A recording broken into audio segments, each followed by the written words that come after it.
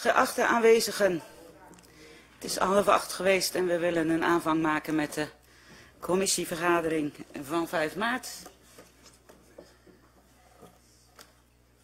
Afwezig zijn meneer Rooijakkers wordt vervangen door meneer Schrijver, meneer Wildvank van de Partij van de Arbeid wordt vervangen door meneer Broeren en meneer Westerman is afwezig. Van harte welkom commissieleden, college, uh, heren deze keer op de tribune, op de perstribune.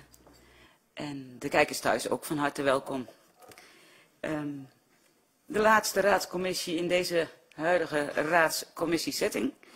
Um, en de na vanavond is de raadsvergadering van 26 maart, waarin het afscheid van een aantal van u waarschijnlijk aan de orde zal zijn.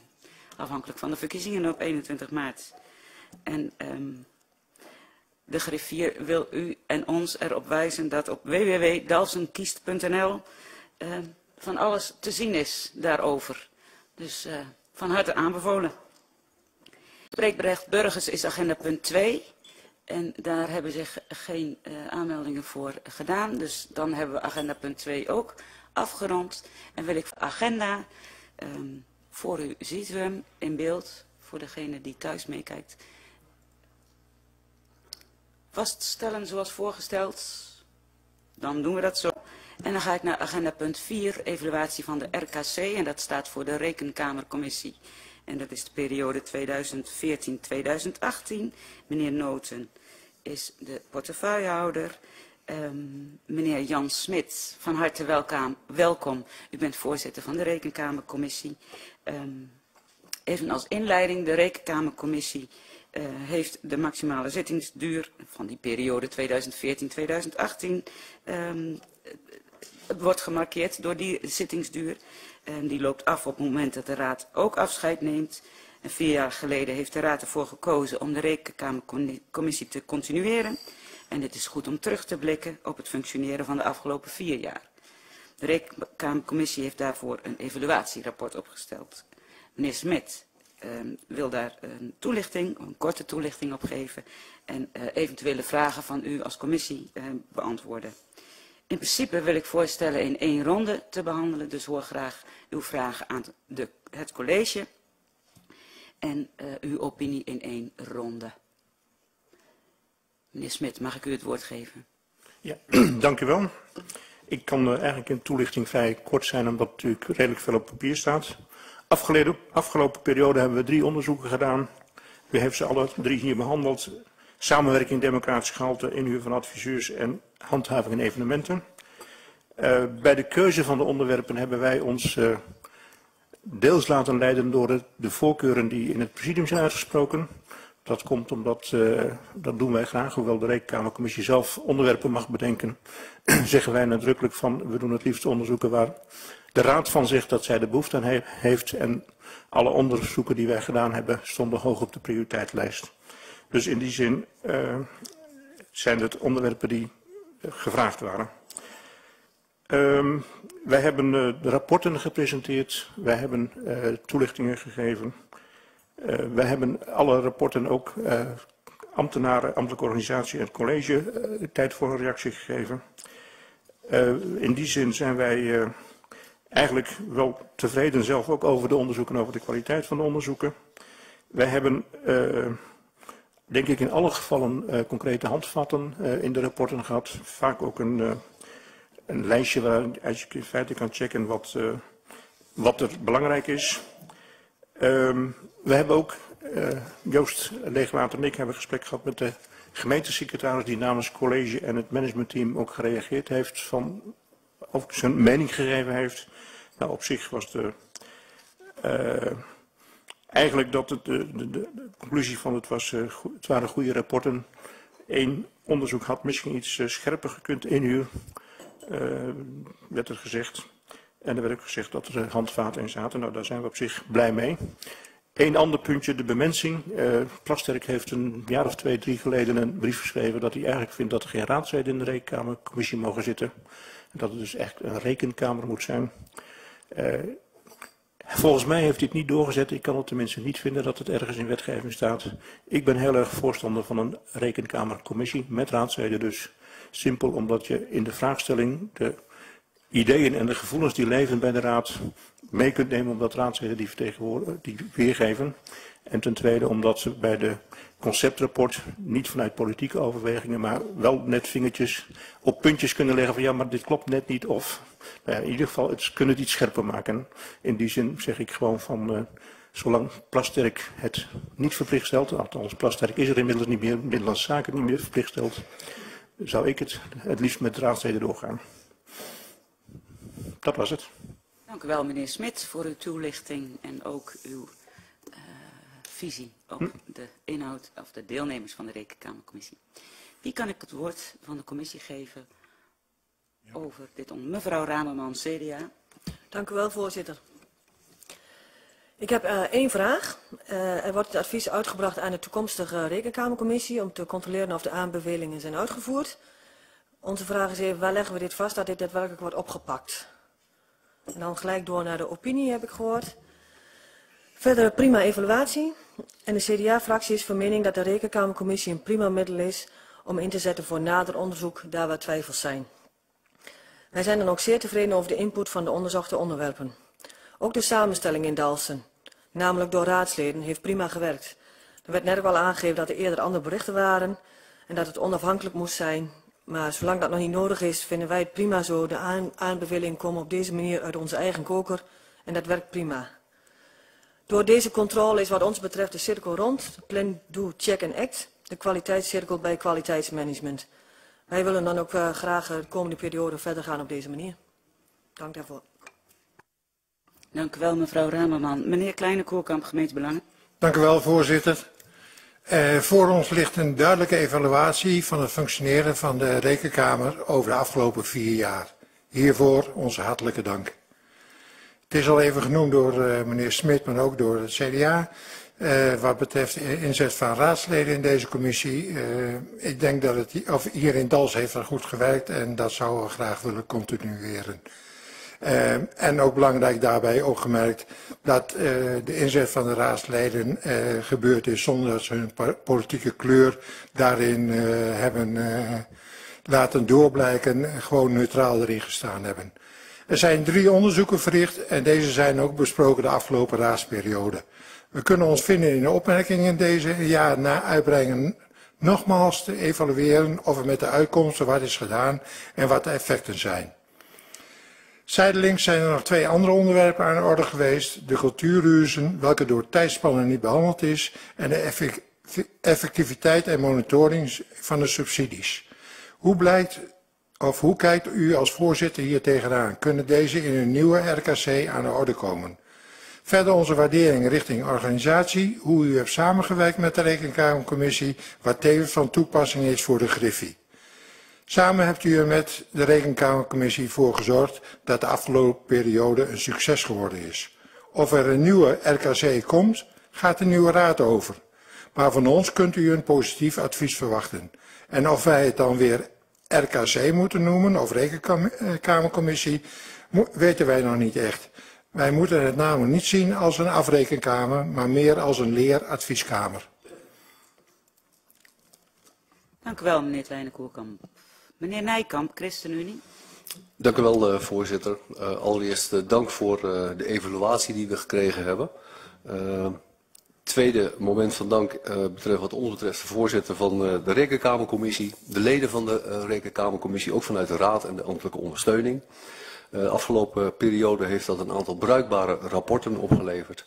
En als we kijken wat ons betreft naar het vervolg, zouden wij vanuit de ChristenUnie willen zeggen van een rekenkamercommissie en hoe je die dan precies afkort is punt 2. Maar in ieder geval, uh, die moet wat ons. Dat is waardevol dat we die hebben, uh, omdat er ook een zekere onafhankelijkheid in zit. Samenstelling met de raadsleden beoordelen wij positief. Um, Eén rapport per jaar als frequentie vinden wij ook een, een prima inzet, ook gelet op het beschikbare budget wat daarvoor staat. De keuze van de onderwerpen die voor een deel natuurlijk in afstemming gebeurt, ook bijvoorbeeld in het gesprek met het presidium. Maar tegelijkertijd heeft de Rekenkamercommissie daar een onafhankelijke keuze in te maken. En dat moeten we ook zo houden. Met betrekking tot de uitvoering van de aanbevelingen hebben de voorgaande uh, sprekers ook al een opmerking gemaakt, een vraag gesteld. Die zouden wij ook wel graag uh, hierbij willen ondersteunen. En of cultuurhuizen in de volgende ronde zal zitten, uh, dat zullen we dan tegen die tijd wel bekijken. Uh, wat ons betreft is dat wel een nuttig onderwerp op het juiste moment. Tot zover, hartelijk dank. Dank u wel, meneer Nijkamp. Meneer Broeren, Partij van de Arbeid. Ja, dank u wel, voorzitter. Nou, ik sluit me graag aan bij de woorden van mijn voorgangers. Ook namens onze fractie dank, zowel voor de evaluatie als de inzet de afgelopen periode. Um, nou, ik ga niet alles herhalen. Wij vinden dat het, het, dat het uh, instrument prima heeft gefunctioneerd. Uh, het heeft een waardevolle opbrengst gehad, wat ons betreft. Ook wat ons betreft, frequentie van één onderzoek per jaar is een hele mooie. Uh, daar kun je goed focus aan brengen en ja, ook goed je capaciteit inzetten om tot een waardevolle opbrengst te komen. Um, en ook wat ons betreft is het aan de nieuwe raad om hier een vervolg aan te geven. Die zal uiteindelijk de keuze moeten maken. Um, en de naam, daar zou ik nog geen voorschot op willen nemen. Dank u wel, voorzitter. Dank u wel, meneer Broeren. Meneer Schrijver, D66. Ja, meten is weten en houden zaken scherp. Dat zijn een aantal uh, termen die wel van toepassing zijn op zo'n mooie evaluatie. Dank daarvoor. Dank aan de voorzitter van de Rekenkamercommissie. Uh, ik denk ook dat het goed is dat daar de raadsleden bij betrokken zijn. Eén praktische vraag nog, want ik zag ook een rapport inderdaad over de cultuurhuizen wat dan is afgeblazen. Daar worden cultuurhuizen genoemd in Oud-Leuzen, Hoornhorst en Dalfsen die al eens gerealiseerd zijn. Voor, voor zover ik weet is er ook in Limmenveld gerealiseerd. En die zou dan bij een toekomstige planning ook meegenomen kunnen worden. Dank u wel voor deze aanvulling. Is het een vraag? Opmerking. Dank u wel, meneer Schrijver. Meneer Veldhuis, VVD. Uh, dank u voorzitter. Ja, ook uh, namens ons uh, dank voor de ontvangen evaluatie. ja, wat alle voorgaande sprekers al hebben gezegd, daar kunnen we ons bij aansluiten. Als VVD vinden we de Rekenkamercommissie een goed instrument en we zijn tevreden over de werking hiervan in de afgelopen periode. we staan achter de deelname van de raadsleden in de raadscommissie. of in de Rekenkamercommissie, sorry, waarmee de nauwe relatie met de gemeenteraad is gewaarborgd. Uh, nogmaals dank uh, aan de commissie voor het werk dat ze afgelopen vier jaar hebben verricht. Dank u wel, meneer Veldhuis. Ik heb een paar vragen uh, voor meneer Smit. Aan u het woord. Ja. Eerste spreker de vraag of hoe het, hoe het gerealiseerd gaat worden dat er ieder jaar na een, of na een uitbrengen van een rapport elk jaar een jaar later dus weer een evaluatie komt of de aanbeveling zijn. Dat zal in ieder geval de rekenkamercommissie opletten. Dus dat, moeten wij op de een of andere manier ook uh, gaan verwerken in uh, offertes of op een andere manier. Maar goed, dat zullen wij in ieder geval meenemen. Dus dat is één. Um, of de, er was een vraag waar, uh, over of cultuurhuizen en effecten van subsidieverlening of die komende periode komen. Nou, wij luisteren als rekenkamercommissie graag weer naar het presidium. En als die zeggen die staan hoog, dan zullen ze ongetwijfeld komen. Um, En als wij inderdaad Lemelenveld ten onrechte vergeten hebben, dan is dat, uh, sorry, maar hoort er ook bij. Um, geen afrekenkamer, nou zo proberen wij nadrukkelijk niet te zijn. Uh, er wordt ook een beetje gesuggereerd, misschien moet de naam van rekenkamercommissie veranderen. In de gemeentewet heet het rekenkamer of rekenkamercommissie. Dus in die zin hanteer je dan gewoon de wettelijke term. Maar goed, als men een andere naam wil, vind ik het ook prima hoor. Want maakt me ook zin, ja, men blijven dezelfde bepalingen van de gemeentewet uh, vallen. Um, was nog even uh, onafhankelijke keuze van uh, onderwerpen staat nadrukkelijk dus in die bepalingen van de gemeentewet. Dat de rekenkamer uiteraard mag luisteren naar, maar gewoon altijd zijn onderwerpen zelf mag kiezen. Waarbij wij dus nadrukkelijk zeggen van als wij zien dat er een goed onderzoek te maken is en het onderwerp heeft hoge prioriteit, dan doen we het graag. Dus dat was het. Dank u wel, meneer Smit, voor de beantwoording. En ik neem aan dat de beantwoording duidelijk of voldoende duidelijk is geweest. Misschien dat het college nog wil reageren? Nee, schudt meneer Noten, dat is voor u niet zichtbaar. Dank u wel, uh, meneer Smit, voor uw werk in de Rekenkamercommissie in deze periode. Uh, dank u wel de commissieleden, voor zover die hier aan tafel zitten, voor uh, die periode. En uh, daarmee hebben we kennis genomen uh, en uh, kan ik het agendapunt sluiten. Wat dit betreft. Dank u wel.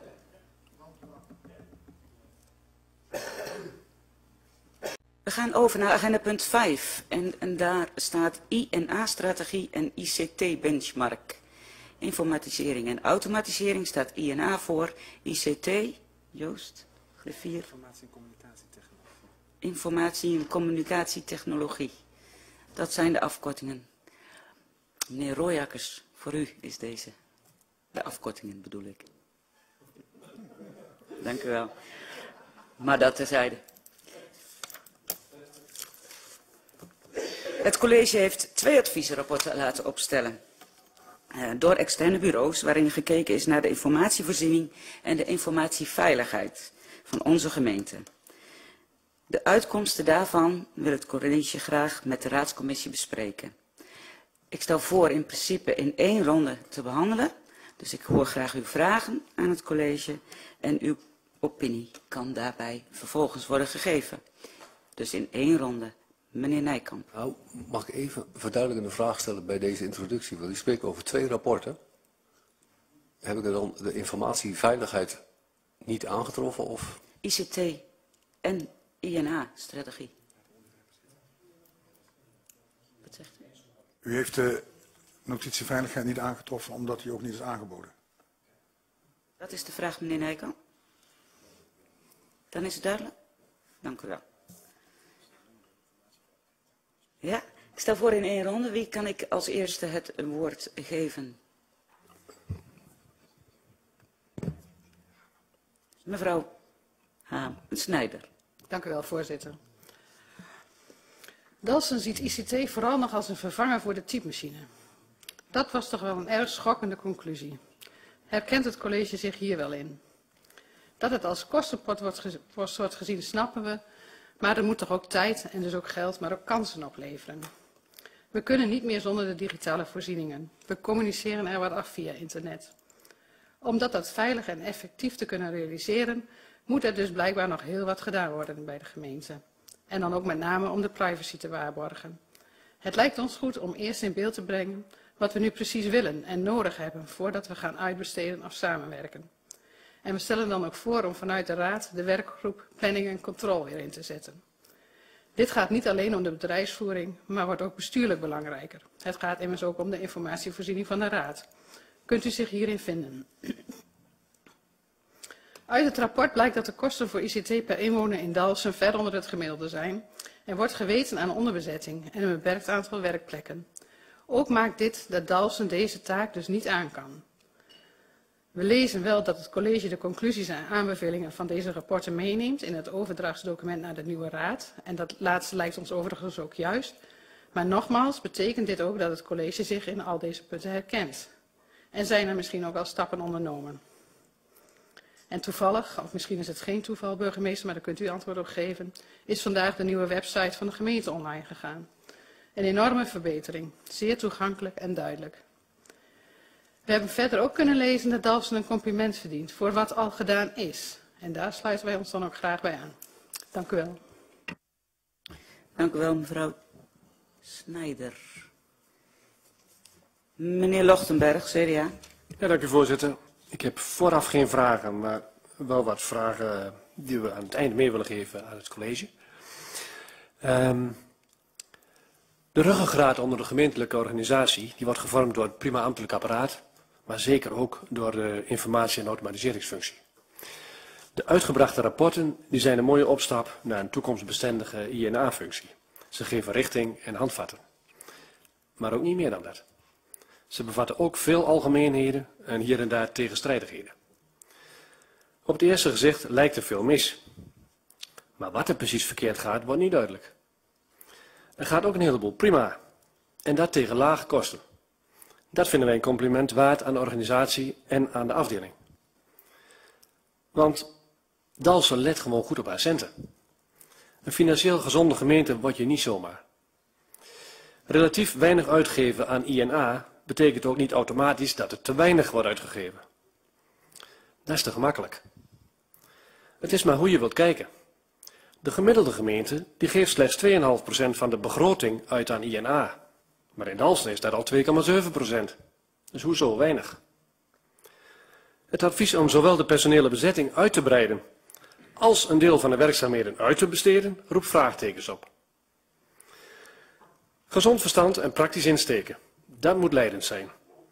Ook voor INA geldt, het moet goed, maar niet overdreven. De onderzoekers adviseren als eerste om zo spoedig mogelijk een heldere bedrijfsfilosofie met bijbehorende strategie te ontwikkelen. Daar is onze fractie uit het hart gegrepen. Dat advies is echter niet overgenomen in het raadsvoorstel. Wel over, overgenomen zijn de adviezen over extra mankracht, extra financiële middelen en over samenwerking met een partnergemeente. Misschien een eerste reflex, maar wellicht uh, moet er eerst kwaliteit voor kwantiteit gaan. Volgens het raadsvoorstel concluderen de onderzoekers dat de schaal van Dalsen te klein is om op termijn de ICT zelfstandig te blijven uitvoeren. Maar dat staat er niet. De onderzoekers stellen zelfs dat groter niet altijd beter is. Een kleinere gemeente heeft volgens hen ook voordelen, zoals korte lijntjes en minder scheiding van functies over verschillende medewerkers. Kortom, voorzitter, rapporten en raadsvoorstel roepen nogal wat vragen op. Wij willen ons echter niet te veel mengen in het hoe en waarom. Voor ons geldt heel simpel, do first things first. In lijn met het verhaal van, de, de, van gemeentebelangen, maak eerst die up-to-date bedrijfsfilosofie en distilleer daaruit de te maken strategische keuzes. Daarbij dient de gemeente zich vooraf wel een aantal vragen, kon ons al aan te stellen. En ik pik er drie richtingen uit. Eerste richting, wat gaat er nu eigenlijk prima? Maar ook, wat hebben we dan gemist de afgelopen jaren? Met andere woorden, wat was er beter verlopen als we bijvoorbeeld meer mensen of meer geld hadden uitgegeven? De tweede richting, wat is nou eigenlijk het probleem? Ontbreekt voldoende over- en inzicht? Verschuiven we van support naar beheer? Is het met name een aaneenschakeling van individuele projecten? Met andere woorden, waar missen we wellicht benodigde kwaliteit? De derde richting, ja, wat moeten we nou eigenlijk zelf doen? Wat kan worden ingehuurd en wat kan worden uitbesteed? Wat kunnen we leren van andere gemeenten? En wat is de verwachte toegevoegde waarde van een samenwerkingsverband? Op basis van zo'n gefundeerde bedrijfsfilosofie zien wij graag een raadsvoorstel met een aantal te maken strategische keuzes. Zodat de nieuwe raad afgewogen keuzes kan maken voor een toekomst, toekomstig bestendig beleid. Dank u voorzitter. Dank u wel meneer Lochtenberg. Meneer Broeren, Partij van de Arbeid. Ja, dank u wel, voorzitter. Ja, ik had toch na de bijdrage van de heer Lochtenberg even de neiging om het stuk nog weer even door te lezen. Want ik heb een beetje het gevoel dat ik een ander stuk heb gelezen. Uh, ik wil toch beginnen met één citaat daaruit, die volgens mij toch echt even iets anders zegt. Um, tegen deze, ik ga niet de hele achtergrond schetsen, dat gaat me even te ver staan. Dat pagina, uh, nou wat is het? Uh, pagina 38. Daar staat heel duidelijk dat tegen deze achtergrond is de vraag naar de houdbaarheid van de Dalse situatie op het gebied van INA des te indringender. Ook gezien de eerder in dit rapport al geschetste kwetsbaarheid van Dalsen in de huidige INA-situatie durft adviesbureau hier met een gerust hart te stellen dat samenwerken op het gebied van INA voor Dalsen inmiddels niet meer de vraag is, maar alleen nog met wie. Nou, dat is volgens mij een heel andere strekking dan wat ik net hoor. Maar ik zal mijn bijdrage even voorlezen, want daar kan ik het iets in verduidelijken. Want wat ons betreft uh, worden er nogal wat acute problemen uh, geconstateerd. Um, en er wordt aangegeven dat er een voorstel daarover naar de nieuwe raad komt. En onze vraag was, hoe wordt er in tussentijd omgegaan met die acute problemen? En worden er op korte termijn daarop dus ook maatregelen genomen? Uh, dan onze inbreng. Uh, nou, wat ons betreft was het toch wel een wat alarmerend stuk, uh, maar ook niet heel erg verrassend. Uh, er wordt in het rapport duidelijk aangegeven dat bijvoorbeeld de schaalgrootte van Dalsen flinke investeringen vraagt om bij te blijven. Dat hebben we ook al eerder hier aan de hand gehad in de discussie rondom de Shared Service Center en het mogelijk aansluiten van de gemeente Dalfsen daarbij. Of het samenwerken met anderen noodzakelijk maakt, um, is dus de vraag. Eerder hebben we in deze commissie gesproken um, over die Shared Service Center en het lijkt er nu op dat we vanuit de techniek geredeneerd dit misschien sneller zouden moeten willen dan nu gepland staat. Wij hopen dan ook dat we in de nieuwe raad zo snel mogelijk door gaan praten over oplossingsrichtingen die hiervoor zijn. En dus eigenlijk de discussie die we toen, uh, ik zeg het misschien wat oneerbiedig, maar een beetje voor ons uit hebben geschoven, in ieder geval bij als raad, uh, dat we die toch gaan voeren. Willen we, als het gaat om ICT, samenwerken? Ja, nee. Wat zijn de voordelen daarvan? Ja, nee. Kosten, baten en met wie? Ehm, en tegelijkertijd hopen wij dat er op korte termijn in ieder geval gezorgd wordt dat we niet door een kritische ondergrens zakken. Zeker niet in de dienstverlening richting onze inwoners, want dat moet uiteindelijk altijd voorop staan. En dan wil ik nog even reageren op het terechte punt wat net gemaakt werd, want eh, waar wij vaak reacties op kregen, dat is inderdaad de website van de gemeente bijvoorbeeld. Dat durf ik je toch wel te zeggen dat het vrij dramatisch was om bepaalde zaken te vinden. Ik heb vanmiddag uh, uitgebreid zitten kijken. Een hele verbetering volgens mij. Um, dus volgens mij gaan we een goede weg in. Uh, maar er moet nog heel wat gebeuren op dat vlak. Uh, en dat is wat ons betreft aan de nieuwe raad en het nieuwe college. Tot zover onze bijdrage. Dank u wel, meneer Broeren. Meneer Veldhuis, VVD. Dank u, voorzitter. Um, ja, ik ga denk ik eerst even mijn inbreng doen en doe ik dan achteraan doe ik de vragen die ik uh, heb. Uh, wij hebben meerdere keren als VVD in deze raad aangegeven dat we bij veel onderwerpen, uh, dat het hier ontbreekt aan duidelijke doelen, aan smart gemaakte doelen. Voorliggend rapport maakt dit nogmaals duidelijk. Wat we nodig hebben, blijkt uit het rapport ook, is een bedrijfsstrategie, beleids- en bedrijfsdoelen. Deze dienen als basis voor andere plannen en strategieën, zoals ook deze INA-strategie. Na onze mening benadert u het voorliggende rapport nog steeds te veel als een INA-probleem. In het raadsvoorstel spreekt u over rollen en verantwoordelijkheden in relatie tot INA, welke ICT-infrastructuur nodig is, etc. Zoals net ook al aangegeven door de PvdA, dat zijn inderdaad belangrijke zaken, maar uh, waar het advies uh, van MNI over gaat, is over het niveau daarboven. De bedrijfsstrategie, beleids- en bedrijfsdoelen. Die zijn niet op orde. Juist deze laag daarboven is randvoorwaardelijk om de INA-onderdelen goed voor elkaar te krijgen. Dus eerst een strategie en duidelijke doelen en dan pas kijken wat nodig is. Nou, ons idee ontbreekt dan nog steeds in deze aanpak. We maken ons zorgen over een aantal zaken die we als gemeente op korte termijn klaar moeten hebben. Zoals de AVG en andere onderwerpen die in de digitale agenda 2020 genoemd staan. We zouden ook graag van het college een plan willen hebben uh, hoe we dit nu verder gaan aanpakken. Graag horen we dat u, uh, horen ze dadelijk van u binnen welke termijn we dit kunnen verwachten. Uh, we hebben nog wel een paar vragen die ik nog mee wil, uh, waar ik nog graag antwoord op zou willen hebben. In de kernboodschap staan een aantal adviezen waarvan MNI aangeeft dat de, dat de gemeente deze zo snel mogelijk moet oppakken. Onderschrijft u deze en zo ja, uh, op welke manier wilt u dat gaan doen? Een andere vraag die we hebben is, waarom krijgen we dit rapport nu pas, als de situatie zo schrijnend is? Als ik het goed begrijp, de, uit de stukken, is op 10 mei het eerste beeld al geschetst aan het managementteam, die het vervolgens bevestigd heeft. Vervolgens hebben we hier niets van teruggezien in de perspectiefnota en de programmabegroting uh, 2018-2021. Misschien kijk ik niet goed, maar dan hoor ik dat graag. Want we zadelen volgens mij onze, de volgende gemeenteraad wel met een probleem op, waarvan volgens ons geen dekking, uh, waar we geen dekking van zien in de begroting. Even kijken, heb ik nog meer vragen? Um, nee, de andere heb ik al gesteld. Tot zover uh, inbreng. Dank u wel, meneer Veldhuis. Meneer Schrijven, D66.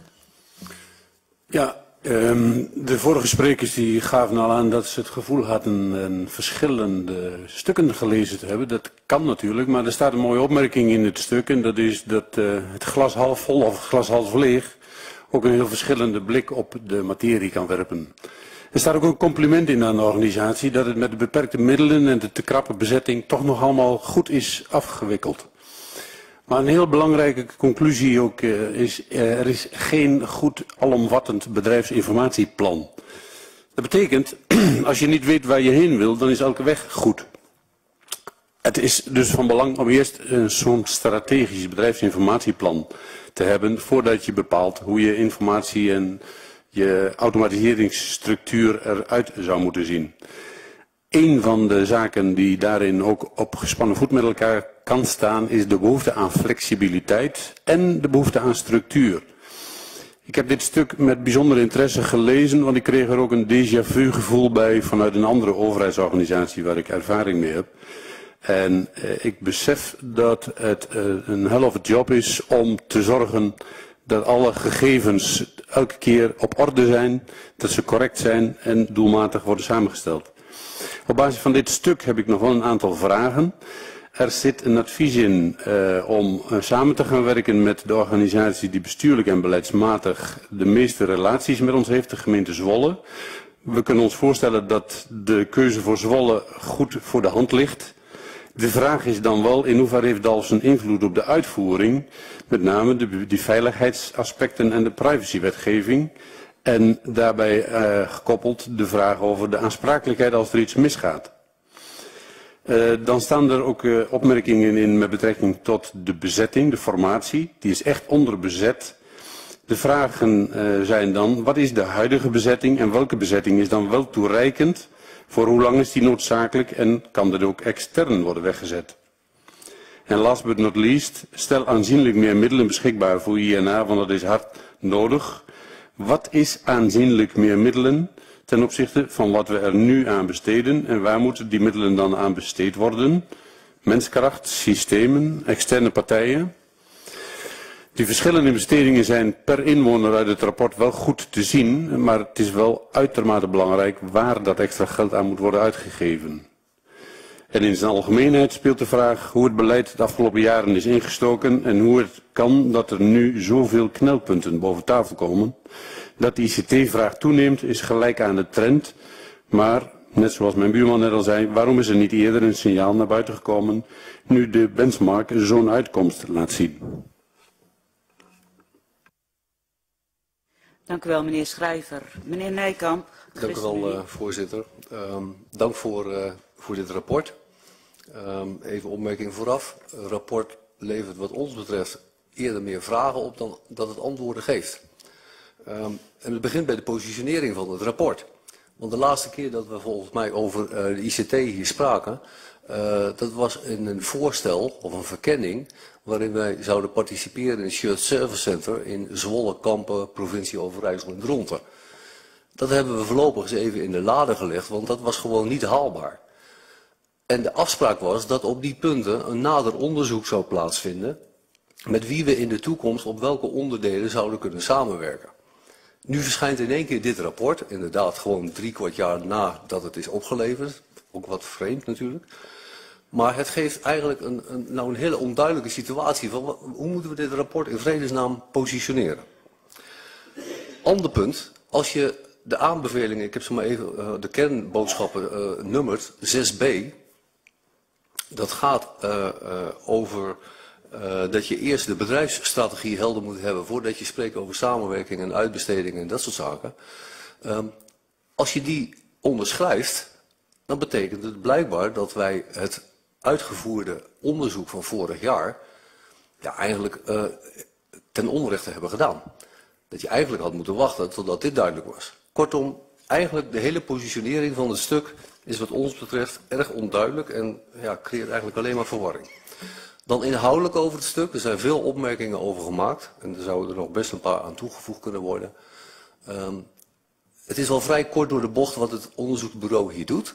Die vergelijkt met gemiddelde van Nederland. Maar ja, Dalfsen is geen gemiddelde gemeente. Denk ik dan maar.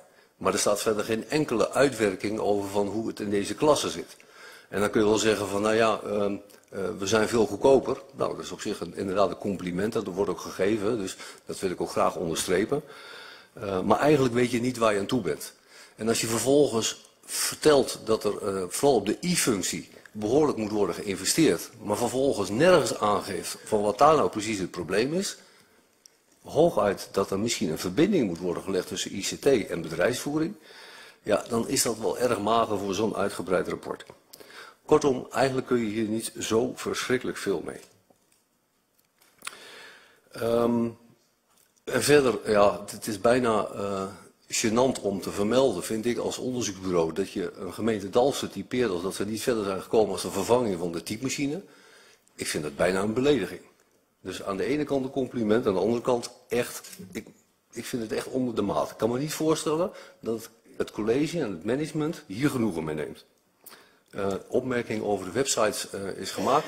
Nou, dat heeft helemaal niks met een typemachine te maken. Dus het, dat voelt niet goed wat hier uh, gebeurt. Um, samenwerking moet. Er wordt vrij snel gewezen van je kunt maar één kant naar kijken en dat is. Dat hebben we in eerste instantie ook gedaan. Maar blijkbaar is er ook reden om eerst eens wat breder te kijken. En er wordt gerefereerd aan een rekenkamercommissierapport. Wel, dat rekenkamercommissierapport zegt niet dat dat richting Zwolle moet. Dat is een heel ander onderzoek wat daar aan de grondslag ligt. Kortom, uh, wat ons betreft meer vragen dan antwoorden naar aanleiding van dit rapport. En ik weet werkelijk niet wat we hiermee moeten. Behalve dat de nieuwe raad daar denk ik met het college maar eens een keer over van gedachten moet wisselen. Uh, maar goed, dat gaan we dan wel merken. Dank u wel. Dank u wel, meneer Nijkamp. Heel veel vragen en opmerkingen. Meneer Noten. Zou ik dat eens proberen, voorzitter? Ja.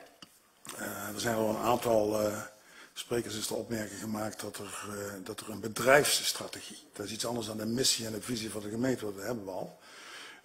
daar mag, die mag ik wel voldoende vinden, maar die hebben we. Het gaat erom om dat ook te vertalen naar een bedrijfsstrategie en een bedrijfsvoeringsvraagstuk.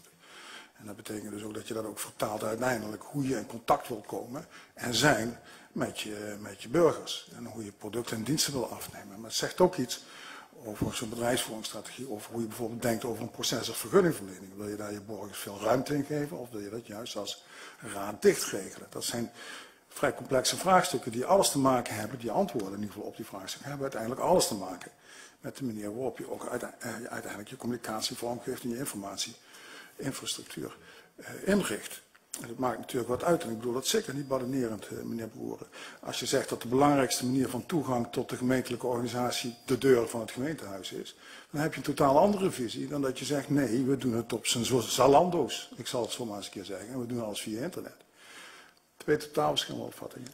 Als je vindt dat de manier waarop vergunningen verleend worden, dat daar ruimte voor moet zijn. Dat er dus in essentie iemand zijn eigen vergunning zou moeten kunnen verlenen. Dat je dat proces zo vormgeeft dat als je dat binnen kaders doet, dat hij gewoon via internet zijn eigen vergunningverlening kan realiseren, dan heb je een heel ander soort vraagstuk, maar ook een heel ander soort beleid, dan dat als je als raad vindt, dat je zelf iedere keer weer opnieuw moet beoordelen of het zaakje er wel of niet leuk getekend uitziet.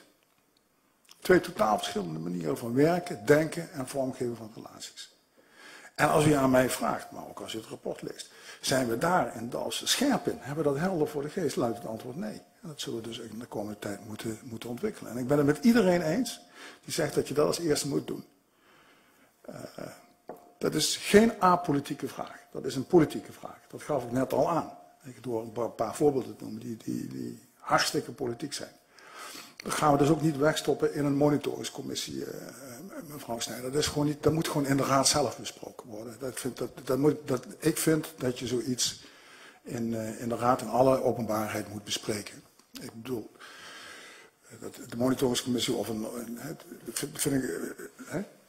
Ja, planning en controlecommissie, dat moet een technische commissie blijven. Daarvoor is dit onderwerp denk ik te politiek, eh, om, dat, om dat daarin te behandelen. Dus dat is, dat is het eerste. Tweede is volgens mij, ja, u kunt het op allerlei manieren lezen. Maar eh, boodschap 1 is, het gaat gewoon echt heel goed. Uh, met heel weinig middelen worden er op dit moment buitengewone prestaties geleverd. Door onze ICT-afdeling en uh, door onze afdeling INA. Die zit trouwens heel naast me. Um, en heeft een nieuwe baan gevonden, dus vertrekt binnenkort. Snapt u dan het probleem? Als mijn hele afdeling INA naast me zit en over twee weken werkt hij ergens anders, dan heeft u toch wel enig gevoel bij het begrip kwetsbaarheid, of niet? En dan kunt u aan mij zeggen, ja burgemeester, doe het zelf maar, maar ik ben echt geen INA-specialist. Dat ben ik niet. Ga ik ook niet worden. Dat is de essentie van het vraagstuk. De essentie van het vraagstuk is dat als we die ontwikkelslag willen maken, en u wilt dat wij dat doen met de bestaande organisatie, geeft u ons een onmogelijke opdracht. Het is niet de eerste keer dat ik dat hier zeg. Ik heb het hier al een paar keer gezegd. U overvraagt. Want u wilt dat we met te weinig mensen en een te kleine organisatie te grote inspanningen leveren. Het is niet een kwestie van wel of niet hard werken, maar het kan gewoon niet. We redden dat in ons eentje gewoon niet. We hebben de discussie een paar keer echt gevoerd. Het kan gewoon niet. Dat is de boodschap die ik mee, mee wil geven. Er is sprake van een goede prestatie, maar er is ook sprake van een enorme kwetsbaarheid.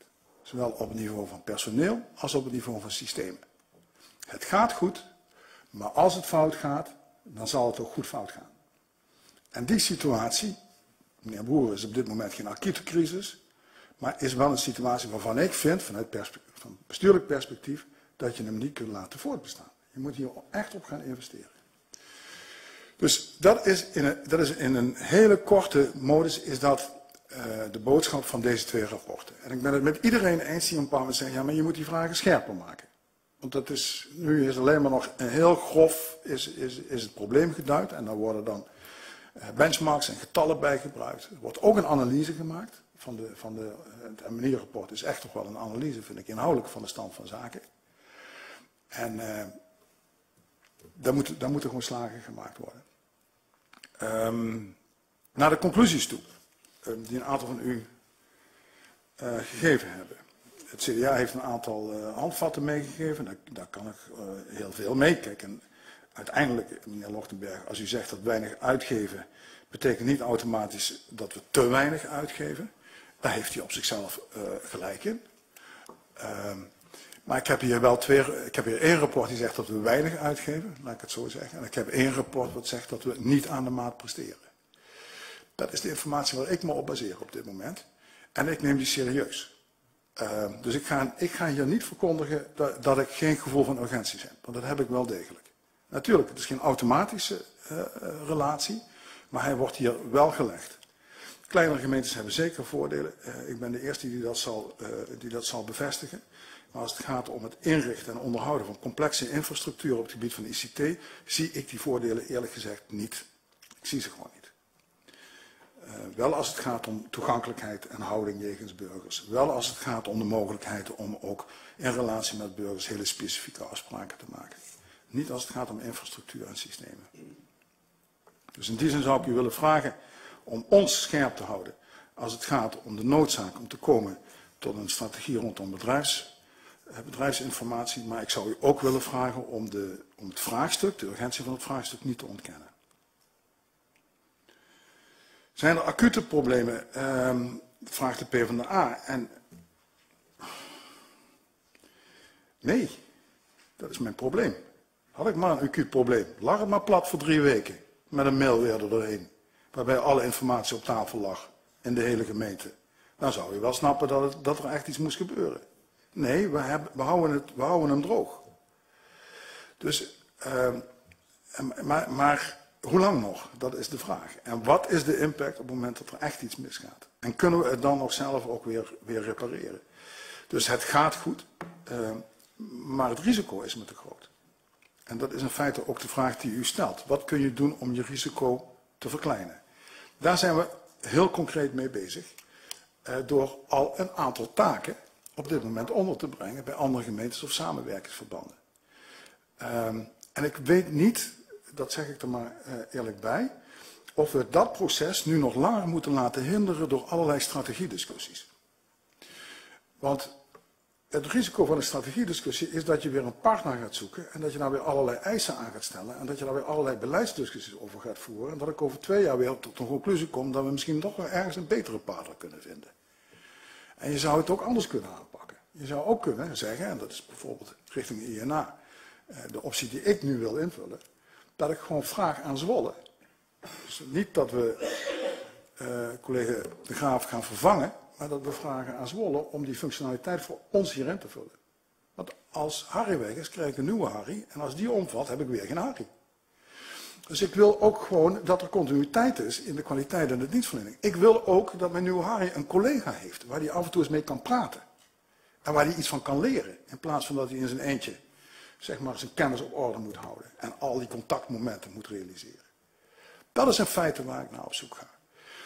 En dan vind ik het helemaal niet strategisch of dat nou Zwolle is, dat is dan de buurman en die heeft tenminste volume. En die heeft de zaak wel goed op orde dan vind ik dat prima en dan is dat verder klaar. En dan ga ik helemaal geen strategie noemen. Want het woord strategie is me dan echt, het is alleen maar een bron van vertraging. Um, gemeentebelangen, planning en controle, liever niet. Gewoon in de commissie. Laat ons dat gewoon transparant. Vind, vind ik echt veel eleganter.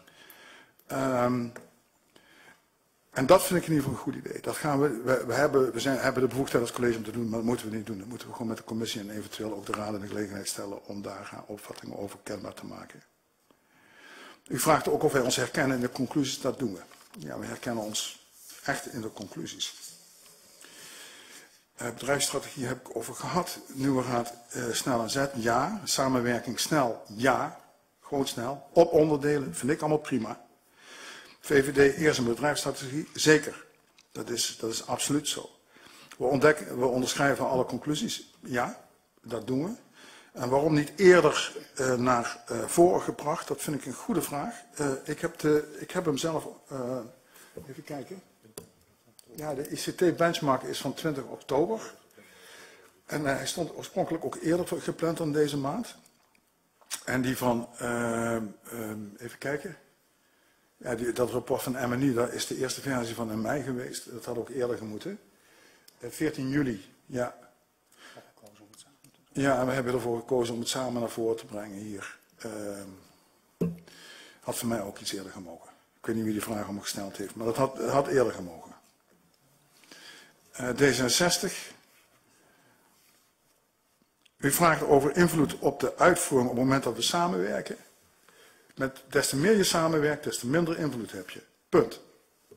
Als je veel invloed wilt hebben, moet je niet samenwerken. Nog een keer een punt. Noem dat de eerste en de tweede wet van burgemeesternoten. Dus je kunt, je kunt ze niet alle twee krijgen. Samenwerken betekent per definitie dat je invloed opgeeft. Omdat je daar iets voor terugkrijgt in die samenwerking. Dus het antwoord erop luidt, ja, uh, we leveren dan invloed in. Uh, maar ik moet u er ook bij zeggen dat de samenwerking in de regio Zwolle, ik zou er bijna een krachtterm bij gebruiken, is, is wel een samenwerking die echt op wederzijds respect iedere keer weer opnieuw wordt vormgegeven. Ik heb nooit het gevoel gehad bij Zwolle of bij een andere gemeente dat je als het ware erbij hangt. Dus ja, je levert invloed op, maar we hebben toch een samenwerkingscultuur in deze regio waarvan ik denk die is, eh, die is echt fantastisch. Kan de bezetting ook extern worden weggezet? Ik gaf het net al aan. Heeft mijn voorkeur. Heeft zelfs mijn voorkeur. En wat is aanzienlijk meer middelen? Daar komt uh, uh, mijn collega dadelijk over op. En ook waarom niet eerder. Ja. Ja, en, dan, ja, en dan tot slot nog, uh, voorzitter, een opmerking over... ja, dat, dat de ChristenUnie niet zoveel kan met het, met het rapport. Ja, ik, ik neem dat voor kennisgeving aan. Waarbij ik ook het gevoel krijg, voorzitter, dat het rapport waar de ChristenUnie wel veel mee kan, dat dat nog enige tijd op zich zal laten wachten.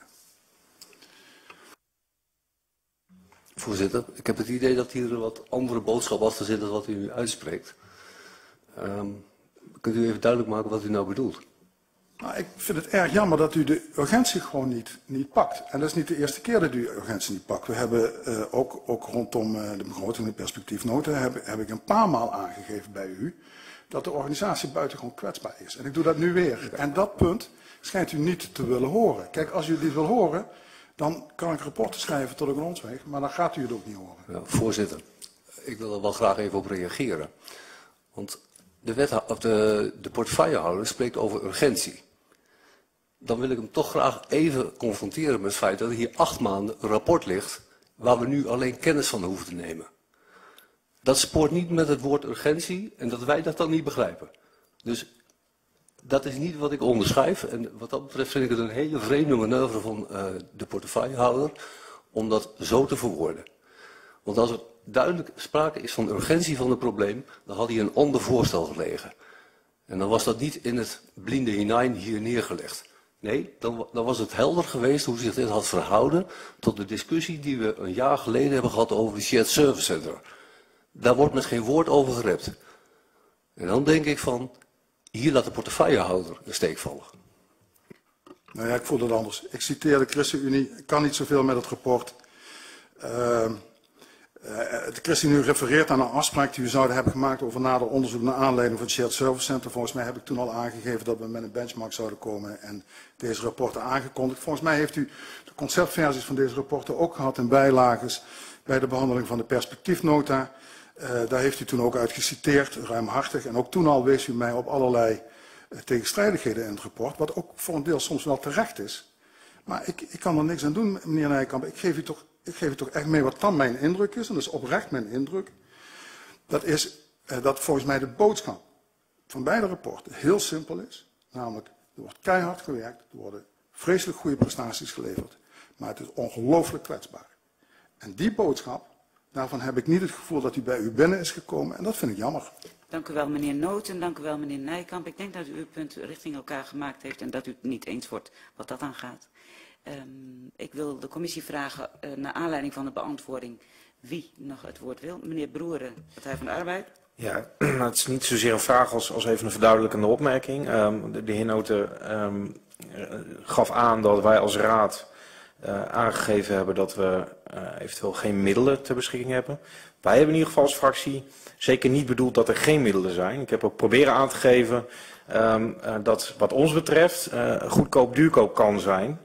En dat betekent dus dat als het nodig is, Alleen dat het voor ons nu, hè, wij, wij, geven ook aan, wij zien heel veel noodzaak om hier uitvoerig over door te spreken in, in de commissie. Als uit dat voorstel wat daar zou liggen, uh, een vraag ligt voor extra middelen, met een goede onderbouwing uh, van waarom wij een bepaald niveau moeten halen, dan is er voor ons extra middelen zeker bespreekbaar.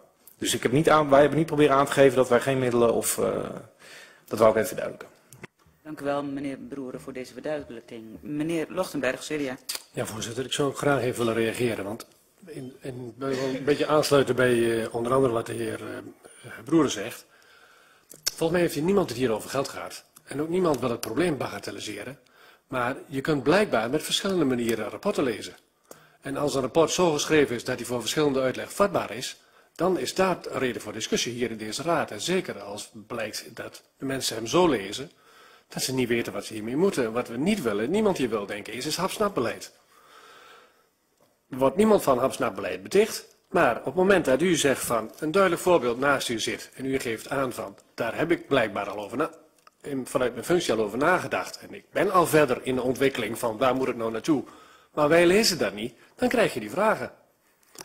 Dus ik denk dat u vanuit uh, u aangeeft middels het voorbeeld naast u en wat uw zorgen zijn omtrent de continuïteit binnen de organisatie, dat dat prima uh, getuigt van weten waar het over gaat. Maar neem ons dan mee in dat proces. En ik denk dat u al een deel van waar wij om vragen net mee bezig was. Dus graag daarmee verder. Dank u wel, meneer Lochtenberg. Ben je nog meer aan meneer Veldhuis, VVD? Ik heb nog even een drietal opmerkingen. Um, ik hoorde de portefeuillehouder net zeggen van we hebben geen urgent probleem. Dus even een vraag daarbij.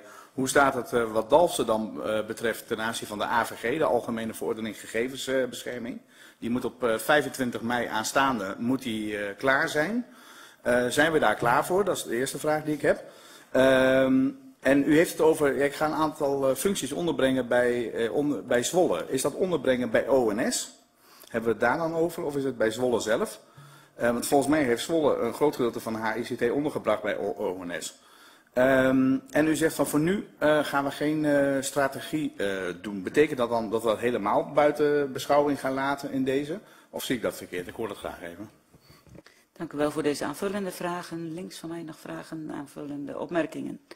Niets, meneer Noten, graag antwoord. De, die AVG, die verordening wordt vastgesteld. Ik zit me zelfs af te vragen wanneer is dat? Is Europees, je moet eraan voldoen. Nee, we moeten eraan voldoen, maar de, we hebben daar nu een onderzoek van. We hebben dat morgen hebben we daar een stuk over in het college. Vindt u het goed dat ik u daar zo snel mogelijk over informeer via het RIS? En volgens mij halen we gewoon de deadlines. Uh, hou het daarop. En nee, het is de gemeenteswolle. Het is niet ONS. Um, ONS is automatisering. En dit gaat echt over de strategische vragen en de ondersteuning. En die leg ik, en, en ik vind, ONS vind ik het uitvoeringsorganisatie zoals ik hem nu ken. En daar, ik ga daar in ieder geval, daar ligt die vraag niet. Um, en het derde punt, uh, het is niet zo dat ik geen strategische discussie wil. Ik wil alleen maar niet meer iedere keer alle oplossingen pas mogen, pas mogen beginnen met het realiseren van een oplossing als ik alles bedacht heb. Want dan, dat ga ik gewoon niet redden. Want dan, dan weet u, ik heb een personeelsadministratievraagstuk. Ik heb hier nu die, uh, die INA. Uh, op een bepaald moment moet je ook gewoon praktisch kunnen handelen. En je gewoon die ondersteuning naar je toe kunnen organiseren. Want anders blijf je maar uh, blijf je gewoon rommelen. Laat, ik het zo zeggen. Uh, meneer Lochtenberg, helemaal met u eens. Ik ben ook begonnen met te zeggen dat uh, iedereen die zegt dat we een, een heldere strategie, een bedrijfsvoeringsstrategie moeten gaan ontwikkelen. En dat dat het vertrekpunt moet zijn voor de, vervolgens voor je acties. dat onderschrijf ik. En dat was volgens mij ook een belangrijk deel van uw inbreng. Het enige wat ik heb proberen aan te geven is dat uh, zelfs als het gaat om het ontwikkelen van zo'n heldere strategie, ik ondersteuning nodig heb. Uh, want mijn ondersteuning vertrekt. Dus het, je moet oppassen dat je niet gaat cirkelen, laat ik het zo zeggen. Um, pas, pas iets doen nadat je de strategie rond hebt, maar, niks, maar de strategie niet rond kunnen krijgen omdat je niks gedaan hebt. Nou, dat is een beetje uh, het risico waarin ik loop. Heb ik daarmee de opmerkingen gehad, voorzitter? In de tweede ronde zijn ze wat mij betreft de één punt, nee, één punt. Ik heb ook niet gezegd dat u gezegd had dat u geen geld had. Sorry. En als dat zo overgekomen is, dat, dat heb ik niet bedoeld. Wat ik heb proberen aan te geven is dat die gelddiscussie gevoerd moet worden nadat de strategiediscussie aan- aan de orde is. Maar dat dat wel iets is wat we gaan meegeven aan de nieuwe coalitie. En, eh, want, want het nieuwe bestuur zal zichzelf niet rijk moeten rekenen eh, met een goedkope ICT. Dat, dan, dat is niet verstandig. Dat is een waarschuwing. Meneer Schrijver, D66. Ja, de conclusie, eh, als ik het goed heb beluisterd, is dan dat er geen urgent probleem is, maar er is wel een gevoel van urgentie. Ehm, en als ik in het rapport zie dat er een eh, beschouwing kan zijn van een glas vol of een glas, glas half vol of glas half leeg, dan krijg ik nu wel het gevoel dat er eigenlijk toch sprake is van een glas wat half leeg was, wat nu helemaal op korte termijn leeg lijkt te lopen. Omdat er in de bezetting, de onderbezetting, straks helemaal geen bezetting is. En dan is het toch ook een urgent probleem. Eh, tot nu toe lossen we iedere keer alles op. En, eh, maar de vraag is, hoe lang nog? Dat is het hele punt.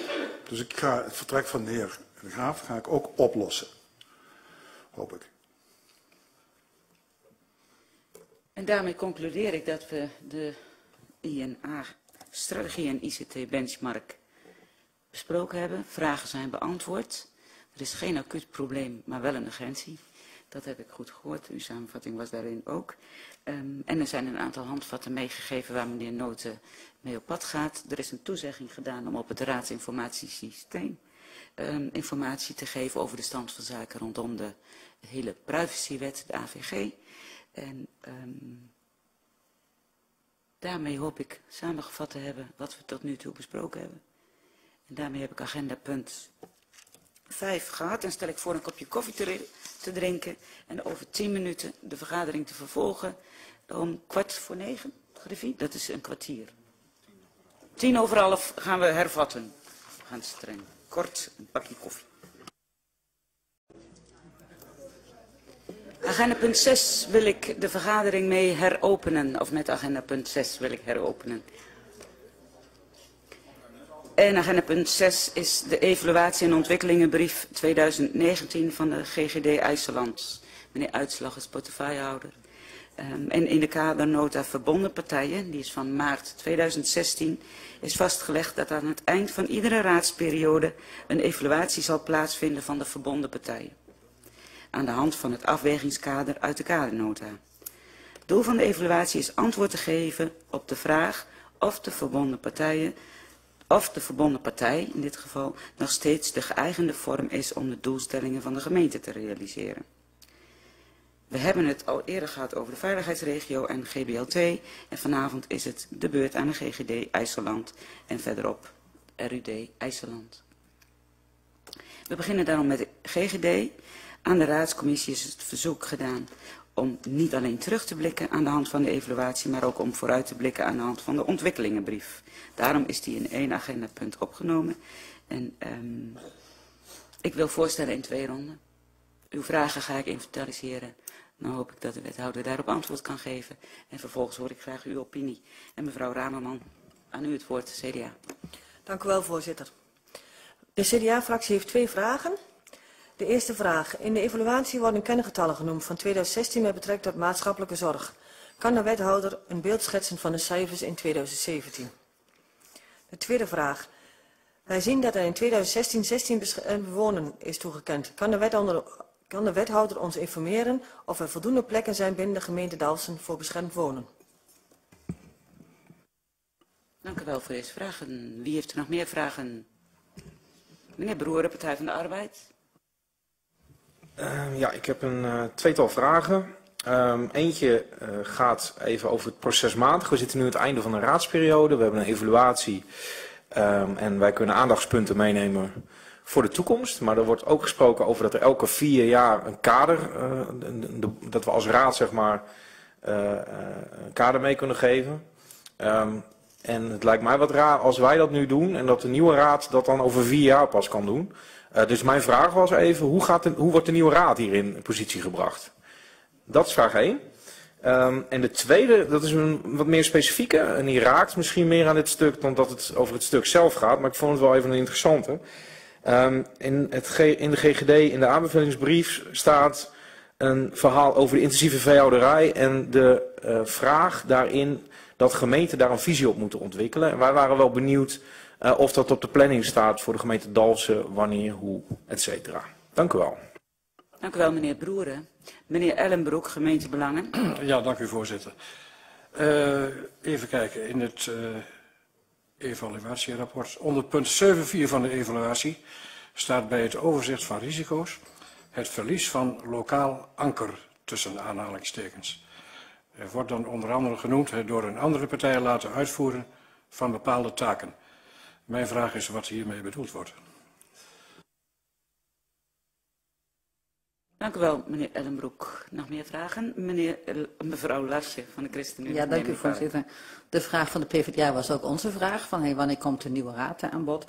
En de tweede vraag die ik had, is, heeft een beetje te maken met de vragen die gesteld zijn. Namelijk, wanneer praten we inhoudelijk over vragen als beschermd wonen, vragen als maatschappelijke opvang en dergelijke. Ik, had, ik denk dat we dat gaan doen als het uitvoeringsprogramma lokale gezondheid aan de orde is. Maar ik weet niet of dat klopt. En als dat niet klopt, dan hoor ik graag wanneer we dan over die inhoudelijke thema's inderdaad gaan praten. Dat waren de vragen. Dank u wel, mevrouw Lasje. Nog meer vragen in de commissie? Meneer Uitslag heeft u. Meneer Schrijver, D66. Eh, met betrekking tot de beleidsindicatoren. Hoe kun je de voortgang van gezondheidsbeleid monitoren in harde beleidsindicatoren? We zitten namelijk in het strakke harnas van de wet publieke gezondheid. En is daar voor de Raad wel sturing op mogelijk? De vraag is aan de wethouder, hoe ervaart hij dat als bestuurder van de GGD? Waar kunnen wij lokaal andere accenten leggen? En wat voor lering trekt de wethouder zelf uit deze evaluatie? Wat zou hij anders of beter willen doen? Los van de dubbele rol wethouder-bestuurder GGD, waarvan we de spanning inmiddels hebben kunnen lezen. En ook wat waren de doelstellingen uit het bestuursprogramma 2014-2018 en in hoeverre zijn die gerealiseerd? Dat lijkt mij een echt relevante evaluatievraag. Ehm, en dan staat in februari het uitvoeringsprogramma Lokaal Gezondheidsbeleid op de planning als memo. En die hebben wij nog niet gezien. Kan dat kloppen? Om iets gefundeerd te kunnen vinden over de voortgang van de uitvoering ervan, kerngezond Dalsen, is deze memo wel gewenst. En zonder die memo is goede meningsvorming over wat dit voor de gemeenteraad van Dalsen kan gaan betekenen niet goed te doen. En vooralsnog functioneert de GGD naar onze mening overigens prima. En mogelijk kan de GGD hierop ingaan tijdens een informatiebijeenkomst met de nieuwe raad. Wat de, betreft de, de betekenis van de uitvoering van de wet publieke gezondheid en hoe wij dat als raad kunnen monitoren. De vraag over die eh, intensieve veehouderij die leeft bij ons ook. Dank u wel, meneer Schrijver. Verder geen vragen aan de orde. Dan wil ik het woord geven aan meneer Uitslag. Dank u, voorzitter. Ehm, de cijfers over 2017. U krijgt, als het goed is, ehm, in april de nieuwe halfjaarsrapportage, waar dus ook ehm, informatie over eh, 2017 in staat. Het is altijd een beetje nadeel, hè? Dat je, je probeert in november of in februari iets aangeleverd te krijgen, maar de doorlooptijd ehm, is wel zodanig dat we de, de cijfers niet klaar hebben op het moment dat het document geschreven wordt. Of we voldoende eh, plekken hebben voor beschermd wonen. Een, eh, en wanneer praten we daar weer over? Ehm, daar, is, daar is verwarring over. Eh, eh, het is niet heel simpel te beantwoorden. De Zwolle en, en de instanties willen graag dat er heel veel uitstroom plaatsvindt. Maar waar vindt die uitstroom dan plaats? Waar de mensen eigenlijk zich al aan het aarden zijn. En dat is over het algemeen in de plek waar de, insta de instanties zijn waar ze zijn opgevangen. In Zwolle dus. Dus we kunnen wel zeggen, je moet naar, naar Dalsen verhuizen, maar als mensen daar helemaal geen, geen netwerk hebben, ehm, dan is de vraag of ze het willen. En dus we kunnen wel heel veel huizen aanbieden, maar dat is dan de vraag of ze nog steeds wel willen en dus of ze ook daarmee geholpen zijn. Hè? Want dat is natuurlijk misschien wel een veel belangrijke vraag. Vervolgens komt er ook het, het vraagstuk om de orde van, ehm, het zijn meestal huurwoningen. hebben ze dan ook wel voldoende urgentie? Eh, of zijn ze lang genoeg ingeschreven geweest bij Vechthorst eh, om in aanmerking te komen? Nou, dat is vraag 2. Want eigenlijk zou je op het moment dat je, moet worden, dat je wordt opgenomen ook gelijk inschrijven voor een woning bij Vechthorst. En dat is ook wel iets raars. Nou, daar gaan we het gesprek over voeren eh, met Vechthorst op verschillende eh, onderdelen eh, in relatie tot het sociale domein. En dit is daar een onderdeeltje van. De nieuwe raad en het proces daarbij. ehm, aan het einde van de, eh, het commissievoorstel, de evaluatie GGD IJsland, staat een advies van de oude voor de nieuwe raad. En daar staat ook wel in hoe de nieuwe raad in positie wordt gebracht. En, ik durf daar niet direct een, een, maand of een uh, datum op te prikken. Maar het staat gewoon in 2018 is de nieuwe raad aanzet. Hè. Dus u als oude raad gaat aan de nieuwe raad, uh, geeft u mee hoe uw ervaringen zijn geweest. Hoe uw evaluaties, uw aandachtspunten zijn voor de nieuwe raad. Voor een groot deel zal dat dezelfde mensen bevatten, maar dat is dan toch eventjes door verkiezingen een nieuwe raad geworden. Dus um, de nieuwe raad komt uh, voldoende aan zet uh, voor zowel deze nota als de nota zoals de, mevrouw Lasje van de ChristenUnie al noemde. Het lokale anker, gemeentebelangen. eigenlijk heeft het wel iets te maken met het, het, voorgaande punt, wat in nota zei. Op het moment dat je met een heleboel partijen samenwerkt, elf in dit geval, dan kan de lokale betrokkenheid wel eens wat minder voelen. Um, maar hetzelfde stuk staat ook dat juist omdat we veel samenwerken en intensief ook samenwerken, ambtelijk en bestuurlijk. We zitten regelmatig bij elkaar. En verschillende gremia ontmoeten dezelfde bestuurders ook weer. Um, het is een risico, maar ik ervaar het niet als, als zijnde aanwezig. Dus daarmee is het ook wel weer opgelost, maar het is wel netjes geduid als een potentieel risico. De intensieve veehouderij. Hij is er uh, ingekomen um, Provinciale Staten heeft uh, onderzoek gevraagd. Hè. Die, er is ook onderzoek gedaan naar de uh, geitenveehouderij. En ik heb zelf ook wel eens een, een vraag gesteld van oh, hoe, hoe, zit het eigenlijk? Hoe, um, waar op ons platteland moeten we eigenlijk nog rekening houden met de invloed van, van, van stallen bijvoorbeeld?